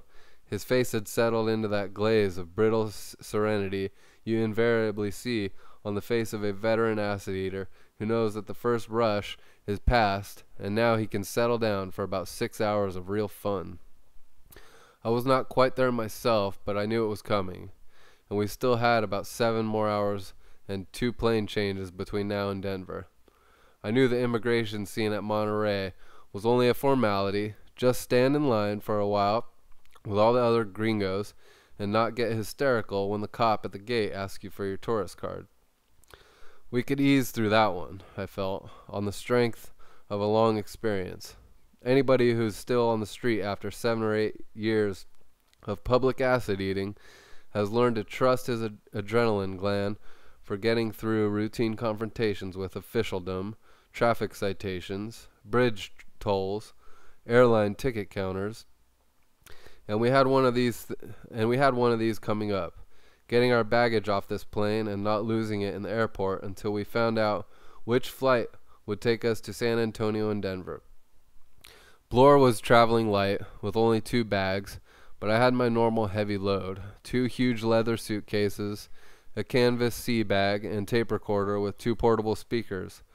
If we were going to lose anything, I wanted to lose it north of the border. The Monterrey Airport is a cool, bright little building, so immaculately clean and efficient that we were almost immediately lulled into a condition of grinning euphoria. Everything seemed to be working perfectly. No lost baggage, no sudden outburst of wild jabbering at the immigration desk, no cause for panic or fits of desperation at the ticket counter. Our first class reservations had already been made and confirmed all the way to Denver. Bloor had been reluctant to blow 32 extra dollars just to sit up front with the businessmen, but I felt it was necessary. There was a lot more latitude for weird behavior in first class, I told him. The stewardesses back in the tourist sec- section don't have as much experience, so they're more likely to freak out if they think they have a dangerous nut on their hands. He glared at me. Do I look like a dangerous nut? I shrugged. It was hard to focus on his face. We were standing in a corridor outside the souvenir shop. You look like a serious dope addict, I, fin- I said finally. Your hair is all wild, your eyes are glittering, your nose is all red, and I suddenly noticed white powder on the top edge of his mustache. You swine, you've been into the coke? He grinned blankly. Why not? Just a little pick me up. I nodded. Yeah, just wait till you start explaining yourself to the customs agent in San Antonio with white powder drooling out of your nose, I laughed. Have you ever seen those big bullet nose flashlights they use for rectal searches? He was rubbing his nostrils vigorously. Where's the drugstore? I'll get some of that Dristan nasal spray. He reached into his back pocket, and I saw his face turn gray. Jesus, he hissed. I've lost my wallet. He kept fumbling in his pockets, but no wallet turned up. Good God, he moaned. moaned. It's still on the plane. His eyes flashed wildly around the airport. Where's the gate? he snapped. The wallet must be under the seat. I shook my head. No, it's too late. What?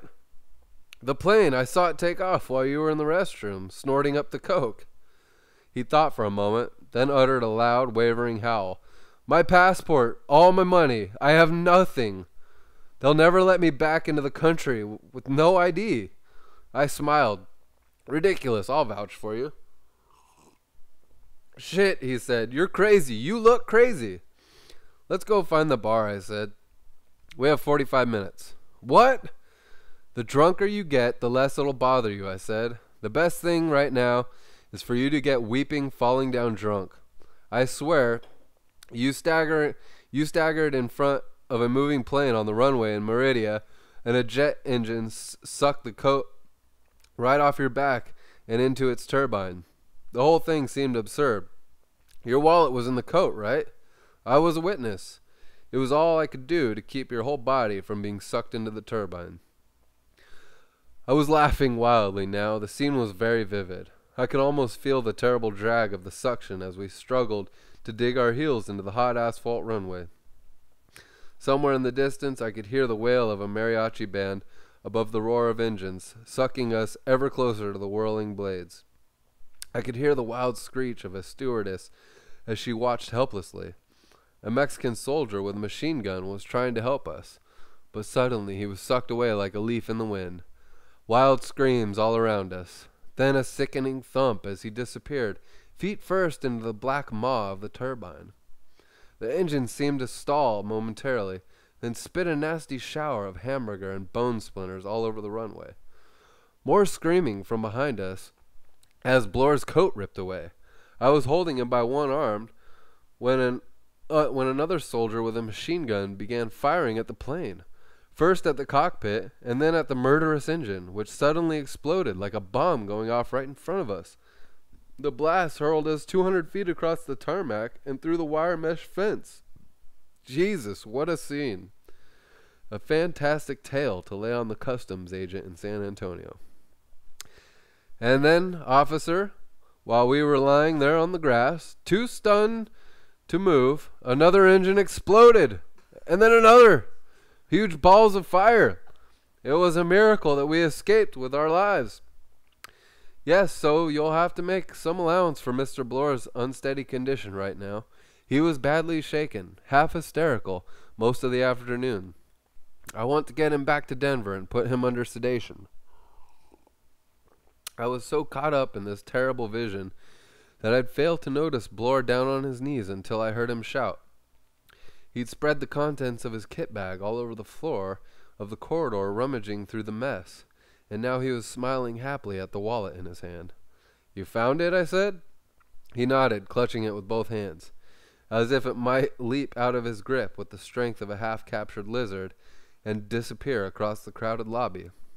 I looked around and saw that people were stopping to watch us. My mind was still whirling from the fiery hallucination that had seized me, but I was able to kneel down and help Bloor stuff his belongings back into the kit bag. We're attracting a crowd, I muttered. Let's get back to the bar where it's safe. Moments later, we were sitting at a table overlooking the runway, sipping margaritas and watching the ground crew load the 727 that would take us to San Antonio. My plan was to stay hunkered down in the bar until the last moment, then dash for the plane. Our luck had been excellent so far, but that scene in the lobby had triggered a wave of paranoia in my head. I felt very conspicuous. Bloor's mannerisms were becoming more and more psychotic. He took one sip of his drink, then whacked it down onto the table and stared at me. What is this? he snarled. A double margarita, I said, glancing over at the waitress to see if she had her she had her eye on us.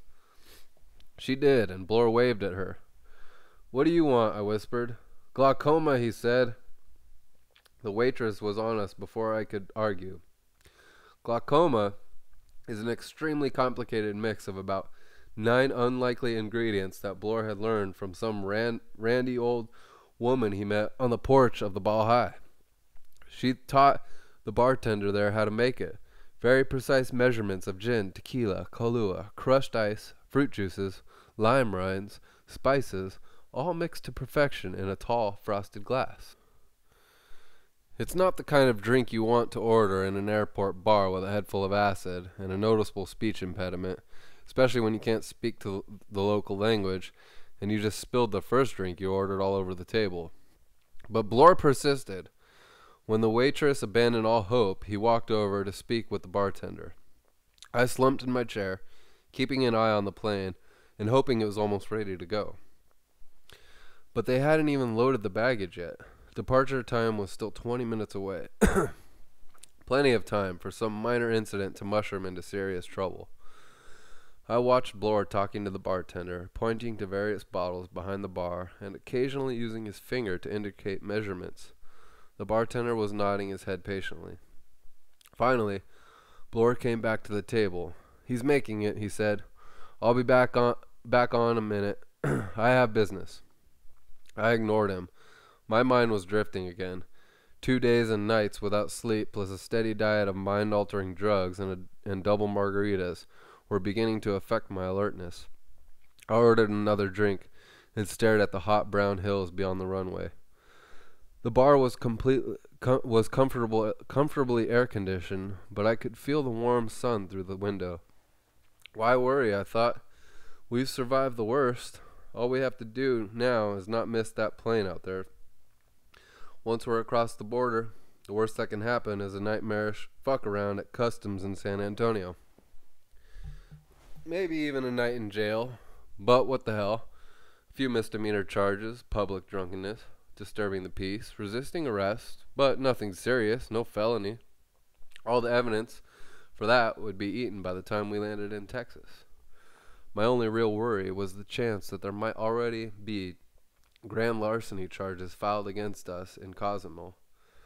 We had, after all, jumped two hotel bills totaling about 15,000 pesos, in addition to leaving that half destroyed Avis Jeep at the airport parking lot, another 15,000 pesos. And we had spent the past four or five days in the constant company of a flagrant big volume drug runner whose every movement and contact, for all we knew, might have been watched or even photographed by Interpol agents. Where was Frank now? Safe at home in California or jailed in Mexico City, swearing desperate ignorance about how all those cans of white powder got into his luggage. I could almost hear it. You've got to believe me, Captain. I went down to Cozumel to check on a land investment. I was sitting in a bar one night, minding my own business, when all of a sudden these two drunk-head acid freaks sat down next to me and said they worked for Playboy.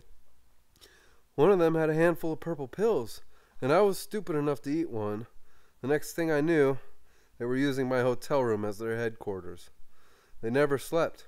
I tried to keep an eye on them, but there were plenty of times while I was sleeping when they could have put almost anything into my luggage. What? Where are they now? Well, I can't say for sure, but I can give you the names of the hotels they were using. Jesus, these terrible hallucinations. I tried to put them out of my mind, and I finished my drink and called for another. A paranoid shudder jerked me out of my slump in the chair. I sat up and looked around. Where was that bastard Bloor? How long had he been gone? I glanced out at the plane and saw the fuel truck still parked under the wing. But they were loading the baggage now. Ten more minutes.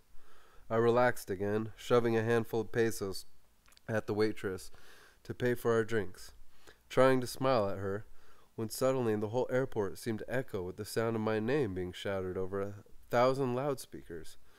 Then I heard Bloor's name, a harsh, heavily accented voice, bellowing along the corridors like the scream of a banshee. Passengers Hunter Thompson and Yail Bloor report immediately to the immigration desk. I was too stunned to move. Mother of twelve bastards, I whispered.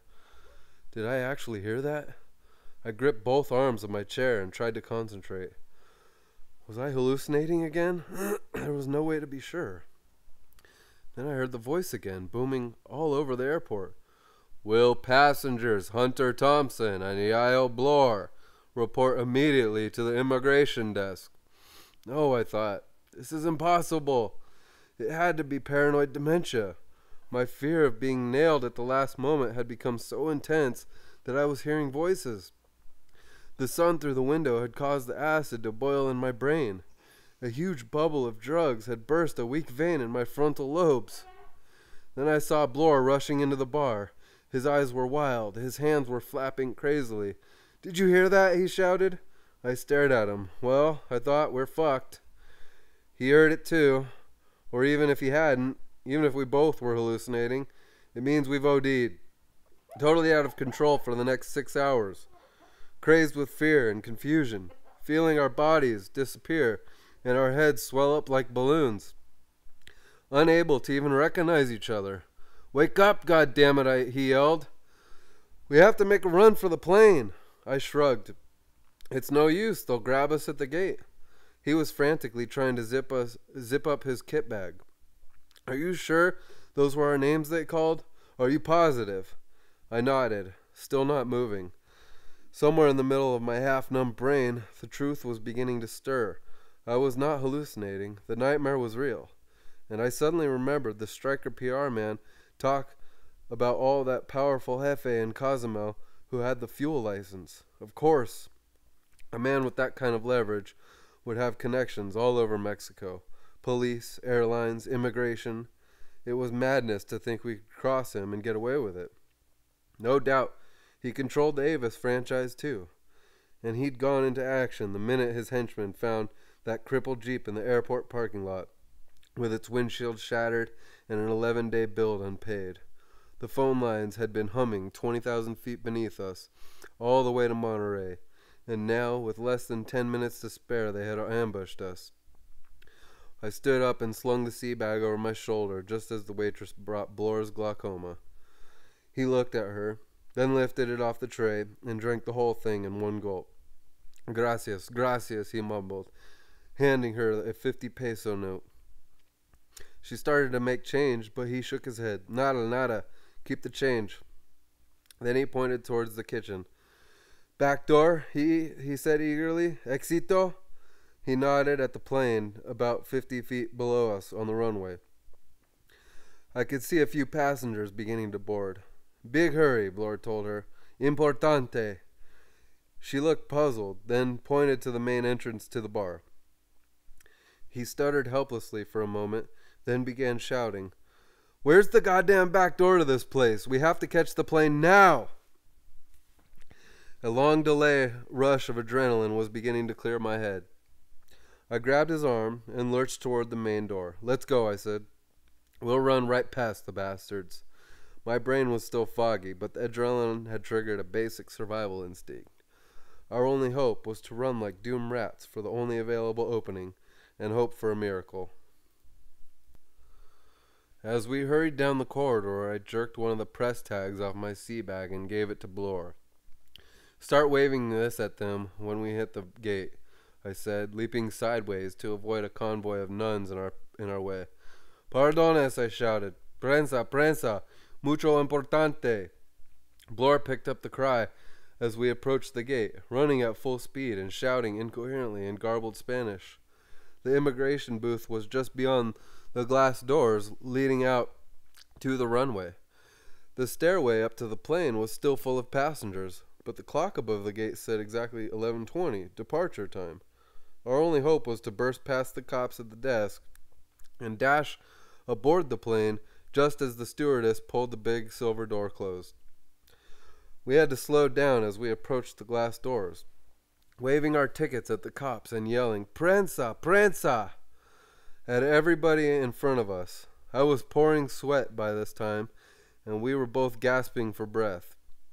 A small, muscular looking cop in a white shirt and dark glasses moved out to head us off as we stumbled through the doors. Senor Bloor? Senor Thompson? he asked sharply. The voice of doom. I staggered to a halt and sagged against the desk, but Bloor's leather soled mod boots wouldn't hold on the marble floor, and he skidded past me at full speed and crashed into a ten foot potted palm, dropping his kit bag and mangling several branches that he grabbed to keep from falling. Senor Thompson, Senor Bloor. Our accusers had a one track mind. One of his assistants had run over to help Bloor uh, keep his feet. Another cop picked his kit bag off the floor and handed it to him. I was too exhausted to do anything but nod my head meekly. The cop who'd called our names took the ticket out of my hand and glanced at it, then quickly handed it back to me. Aha, he said with a grin. Senor Thompson. Then he looked at Bloor. You are Senor Bloor? You're goddamn right I am, Blore snapped. What the hell's going on here? This is goddamn this is a goddamn outrage. All this wax on these floors. I almost got killed. The little cop grinned again. Was there something sadistic in his smile? I couldn't be sure. But it didn't matter now. They had us on the gaff. I flashed on all the people I knew who'd been busted in Mexico. Dopers who'd pushed their luck too far, gotten careless. No doubt we would find friends in prison. I could almost hear them hooting their cheerful greetings as we were led into the yard and turned loose. This scene passed through my head in milliseconds. Bloor's wild yells were still floating in the air as the cop began pushing me out the door toward the plane. Hurry, hurry, he was saying, and behind me I heard his assistant prodding Bloor. We were afraid you would miss the plane, he, he was saying. We called on the PA system. He was grinning broadly now. You almost missed the plane. We were almost to San Antonio before I got a grip on myself. The adrenaline was still pumping violently through my head. The acid and booze and fatigue had been totally neutralized by that scene at the gate. My nerves were so jangled as the plane took off that I had to beg the stewardess for two scotch and waters, which I used to down two of our four reds. Bloor ate the other two, with the help of two Bloody Marys. His hands were trembling badly, his eyes were filled with blood.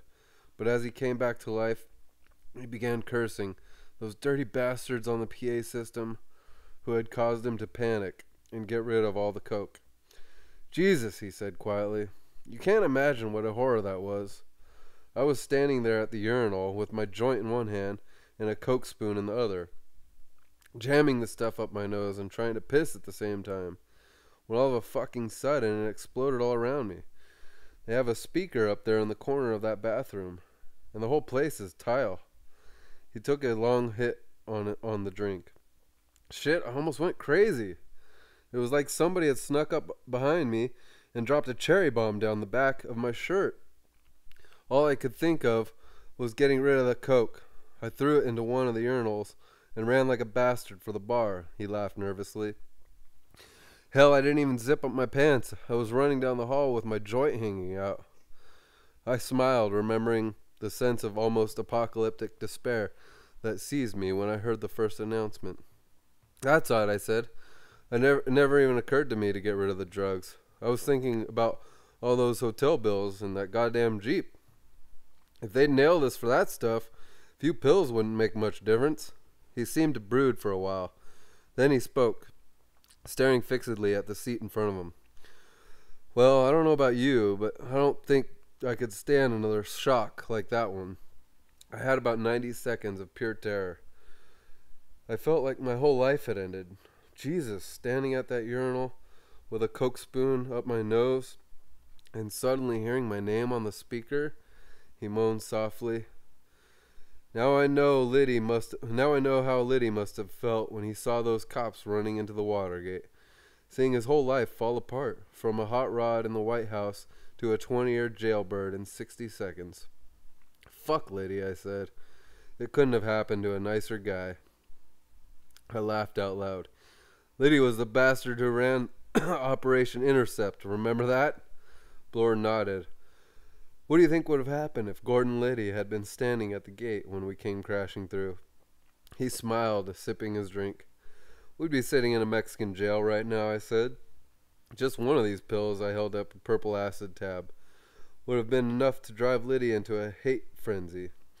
He'd have us locked up on suspicion of everything from hijack from hijacking to dope smuggling. He looked at the pill I was holding, then reached for it. Let's finish these off, he said. I can't stand this nervousness. You're right, I said, reaching into my pocket for the other one. We're almost to San Antonio. I tossed the pill down my throat and called the stewardess for another drink. Is that it? he asked. Are we clean?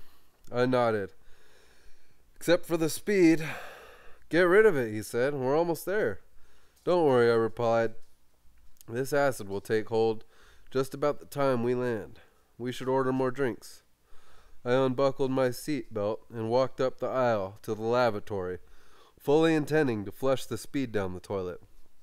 But when I got inside, with the door locked behind me, I stared down at the little buggers resting so peacefully in my palm. Ten caps of pure white amphetamine powder, and I thought, no, we might need these in case of another emergency. I remembered the dangerous lethargy that had gripped me in Monterrey. Then I looked down at my white canvas ba- basketball shoes and noticed how snugly the tongues fit under the laces. Plenty of pressure down there, I thought, and plenty of room for ten pills. So I put all the speed in my shoes and went back to the seat. No point mentioning mentioning it to Bloor, I thought. He's clean and therefore totally innocent. It would only inhibit his capacity for righteous anger. I felt if I told him about the speed I was still carrying until we were safely through customs and reeling blindly around the San Antonio airport, then he would thank me for it. San Antonio was a cakewalk, no trouble at all. Despite the fact that we virtually fell off the plane, badly twisted again, and by the time we got our bags onto the conveyor belt leading up to the tall black customs agent, we were both laughing like fools at the trail of orange amphetamine pills strung out behind us on the floor of the tin roof customs shed. I was arguing with the agent about how much import tax I would have to pay on the two bottles of Prima tequila I was carrying when I noticed Bloor was almost doubled over with laughter but right beside me. He had just paid a tax of five dollars and eighty eight cents on his own tequila, and now he was cracking up while the agent fussed over my tax. What the hell's wrong with you? I snapped, glancing back at him. Then I noticed he was looking down at my feet, fighting so hard to control his laughter that he was having trouble keeping his balance. I looked down, and there, about six inches from my right shoe, was a bright orange spansule. Another one was sitting on the black rubber floor mat about two feet behind me, and two feet farther back was another one. They looked as big as footballs. Insane, I thought. I have left a trail of speed all the way from the plane to this beetle browed customs agent, who was now handing me the official receipt for my liquor tax. I accepted it with a smile that was already disintegrating into hysteria as I took it out of his hand. He was staring grimly at Bloor, who was out of control now, still laughing at the floor. The customs man couldn't see what Yail was laughing at because of the conveyor belt between us. But I could. It was another one of those goddamn orange balls resting on the white canvas toe of my shoe. I reached down as casually as I could and put the thing in my pocket. The customs man watched us with a look of total disgust on his face, and we hauled our bags through the swinging wooden doors and into the lobby of the San Antonio airport. Can you believe that? Bloor said. He never even looked inside these damn things. For all he knows, we just came across the border with 200 pounds of pure skag. I stopped laughing. It was true. My big suitcase, the elephant skin Abercrombie and Fitch job with brass corners, was still securely locked. Not one of our bags had been open for even the laziest inspection. We had listed the five quarts of tequila on our declaration forms, and that was all that seemed to interest him. Jesus Christ, Bloor was saying, if we'd only known. I smiled, but I was still feeling nervous about it. There was something almost eerie about two laughing, staggering dopers checking through one of the heaviest drug checkpoints on the customs map without even opening their bags. It was almost insulting. The more I thought about it, the angrier I felt, because that cold eyed nigger had been absolutely right. He had sized up he had sized us up perfectly with one glance. I could almost hear him thinking, God damn, look at these two slobbering honkies. Anybody this fucked up can't be serious. Which was true. The only thing we slipped past him was a single cap of speed. And even that was an accident.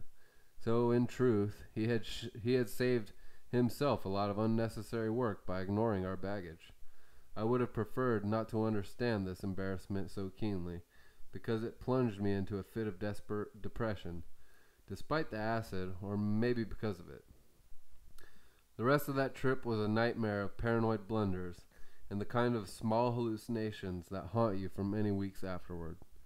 About halfway between San Antonio and Denver, Bloor reached out into the aisle and grabbed a stewardess by the leg, causing her to drop a tray of 21 wine glasses, which crashed in a heap at her feet and ignited rumblings of bad discontent from the other first class passengers who had ordered wine with their lunch. You stinking dope addict bastard, I muttered, trying to ignore him in the burst of ugliness that surrounded us.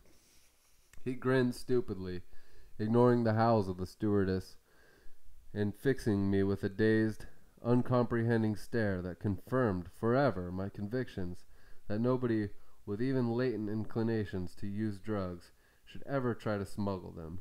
We were virtually shoveled off the plane in Denver, laughing and staggering in such a rotten condition that we were barely able to claim our luggage. Months later, I received a letter from a friend in Cozumel asking if I were still interested in buying an interest in some beach acres on the Caribbean shores. It arrived just as I was preparing to leave for Washington to cover the impeachment of Richard Nixon, the final act in a drama that began for me almost exactly a year earlier, when I had bought a news from the news from a newsboy hustling the porch of the Bali Hai in Cozumel, and read John Dean's original outcry about refusing to be the scapegoat. Well, a lot of madness has flowed under our various bridges since then, and we have all presumably learned a lot of things. John Dean is in prison. Richard Nixon has quit and been pardoned by his hand-picked successor, and my feeling for national politics is about the same as my feeling for deep-sea fishing. Buying land in Cozumel or anything else where losers end up thrashing around in water on a barbed hook. Playboy Magazine, December 1974. The Great Shark Hunt. Hunter S. Thompson's article about covering an international deep sea fishing tournament off Cozumel, Mexico in April 1973 appeared in the December 1974 issue of Playboy. The following is a letter from Hunter S. Thompson to David Butler of Playboy. June 22nd, 1973, Woody Creek, Colorado. David, shit, I was just sitting down today to start a tentative second draft that might lash together the 30 or 40 rough pages I've already croaked up in Re Cozumel. Indeed, ready to get right into it, no more fucking around. And also with the jangled euphoria from an unexpected handful of righteous blotter acid last night in the Jerome bar. Yes, make some sense of the fucking thing. But just as I was finally shaking off the last of the acid horrors about 10 this morning, Sandy came back with the mail, which included, along with your $700 plus expense check, a copy of Wolfe's new journalism book, which didn't tell me a hell of a lot except that I used to be a lot more coherent writer than I seem to be now. Or maybe just hungrier. Or more vengeful. Who can say for sure? Anyway, it's now 3:11 p.m. and I'm sitting on the porch under a blazing goddamn sun with the Allman Brothers on the portable Sony speakers, just like they were down there in Cozumel, for the vibes, the gut rhythms, etc. And I just got off the phone with Lynn Nesbit, who called to say that Acosta rang her up yesterday afternoon to announce that he was suing me for gross fraud, massive damages, and obstruction of justice, or some such bullshit in regards to the sale of the Vegas book for a film, which won't phase the film rights because I have a Xerox of Oscar's release of all claims, etc., tacked inside the kitchen wall. But in the short run of it, will undoubtedly croak any hope of immediate delivery on the $7,500 option money. Filmmongers are not normally eager to acquire properties, even vaguely rumored to be in litigation. One half mad letter from Oscar's attorney very nearly caused Random House to suspend publication of the Vegas book. all of which might or might not explain why I'm writing you this letter at this time instead of sending the revised first half of the first draft, etc., that I thought I'd be finished with today. But I thought I should write and let you know that I haven't just disappeared on you. I've been working on the goddamn thing as steadily as my psychic circumstances allowed for the past few weeks, and although I still don't see the main skeleton in it, I've finally begun to see where it's heading. Not necessarily going, just heading. To this end, in fact, I might zip into town pretty soon, Xerox a disconnected clump of enough pages to give you some idea of what's happening. Jesus, I, sh- I should have just known better than to try and work out here in the open on this goddamn porch. About six people have come and gone for a variety of odd reasons since I got into this letter. In one case, the co op gas truck came into the driveway, and I thought, hot damn, here's 300 gallons of gas for my big red farmer's tank.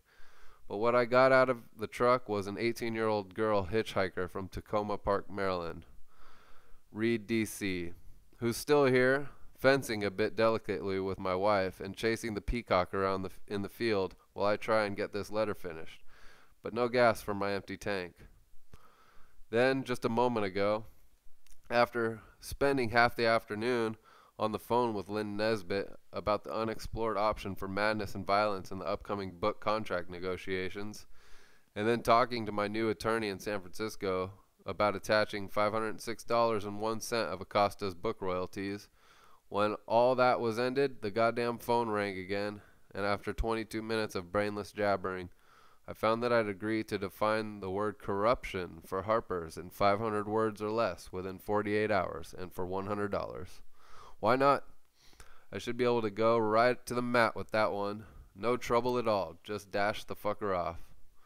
And yes, it's now 5:38, and I just had to tell Sandy to cancel my flying lesson at 6.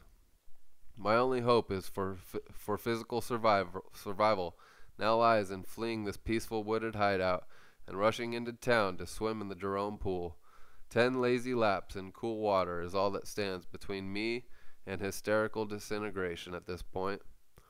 Although between now and then I'll try and jerk out a few pages of the Cozumel first draft for your perusal. Or really, just because I'm beginning to feel guilty about not sending you anything heavy, incisive, etc., after so long a time. Don't view the shit as anything except loosely constructed notes. But even in that form, you might get some idea what kind of a spineless saga I'm grappling with. I have the usual amount of ultimate faith in it, along with the usual sense of futility, hatred, and despair. And the trick, as always, is in refusing to even read the accumulated pages until they are ready, or at least typed cleanly for mailing. Right, and that's one of the main real values of the Mojo Wire. Once you feed a page into that bastard, it's gone forever. No frenzied editing or anal compulsive rewrites. Which is neither here nor there, right? I'll lash a few pages together and send them along under separate cover tonight. Probably we should talk about this thing pretty soon, just to keep me honest and not lose whatever thin dose of earrats momentum we might have going on here for okay for now. Hunter. Thanks for the quick action. In regards, expense check. The. Jester read the words, something wicked this way roars. The army's on ecstasy, so they say. I read all about it in USA Today. They stepped up urine testing to make it go away. Cause it's hard to kill the enemy on old MDMA.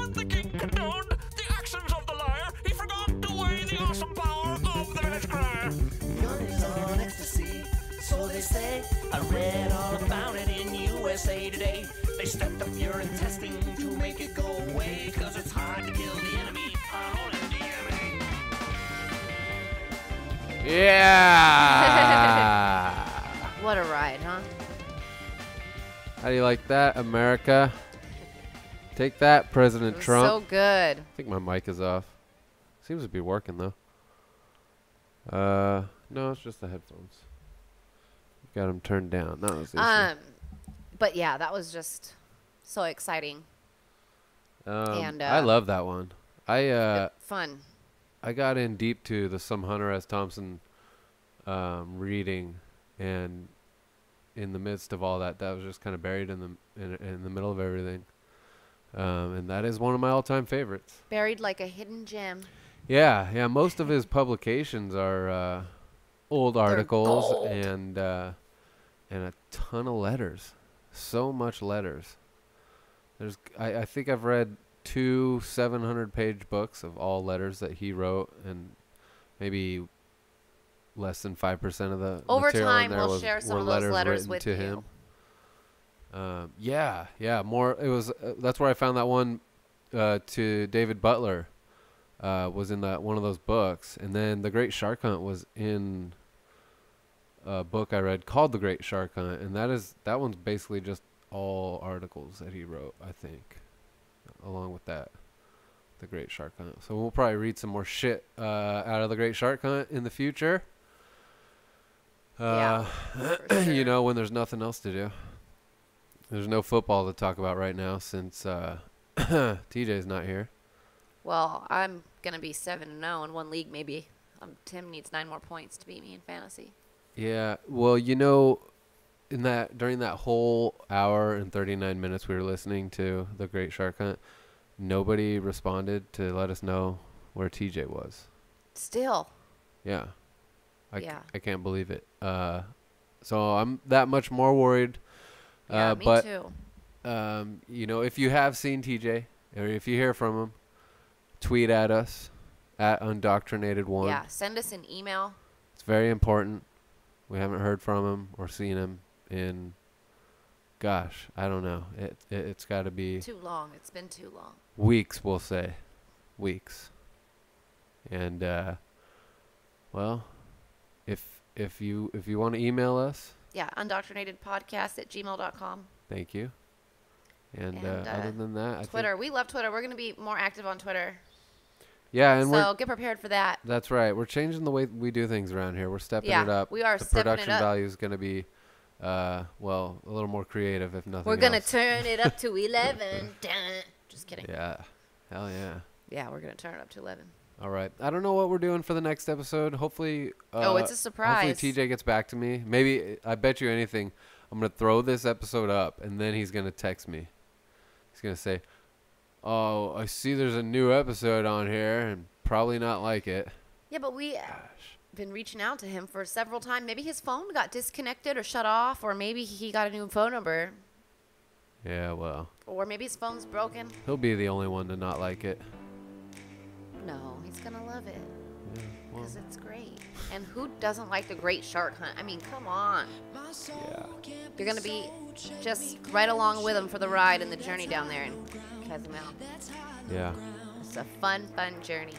Anyway, thanks for coming on with me, Yeah, Natalie. thanks for listening, everybody. And You know, yeah, I, anytime. I think especially if TJ never turns up, I think you'll be on a lot more. And uh, you know, you can never replace TJ, but if there's a second don't best, try to it's- replace it's definitely you oh, that's so nice of you. All right. Thanks, Natalie. Yeah, you're welcome.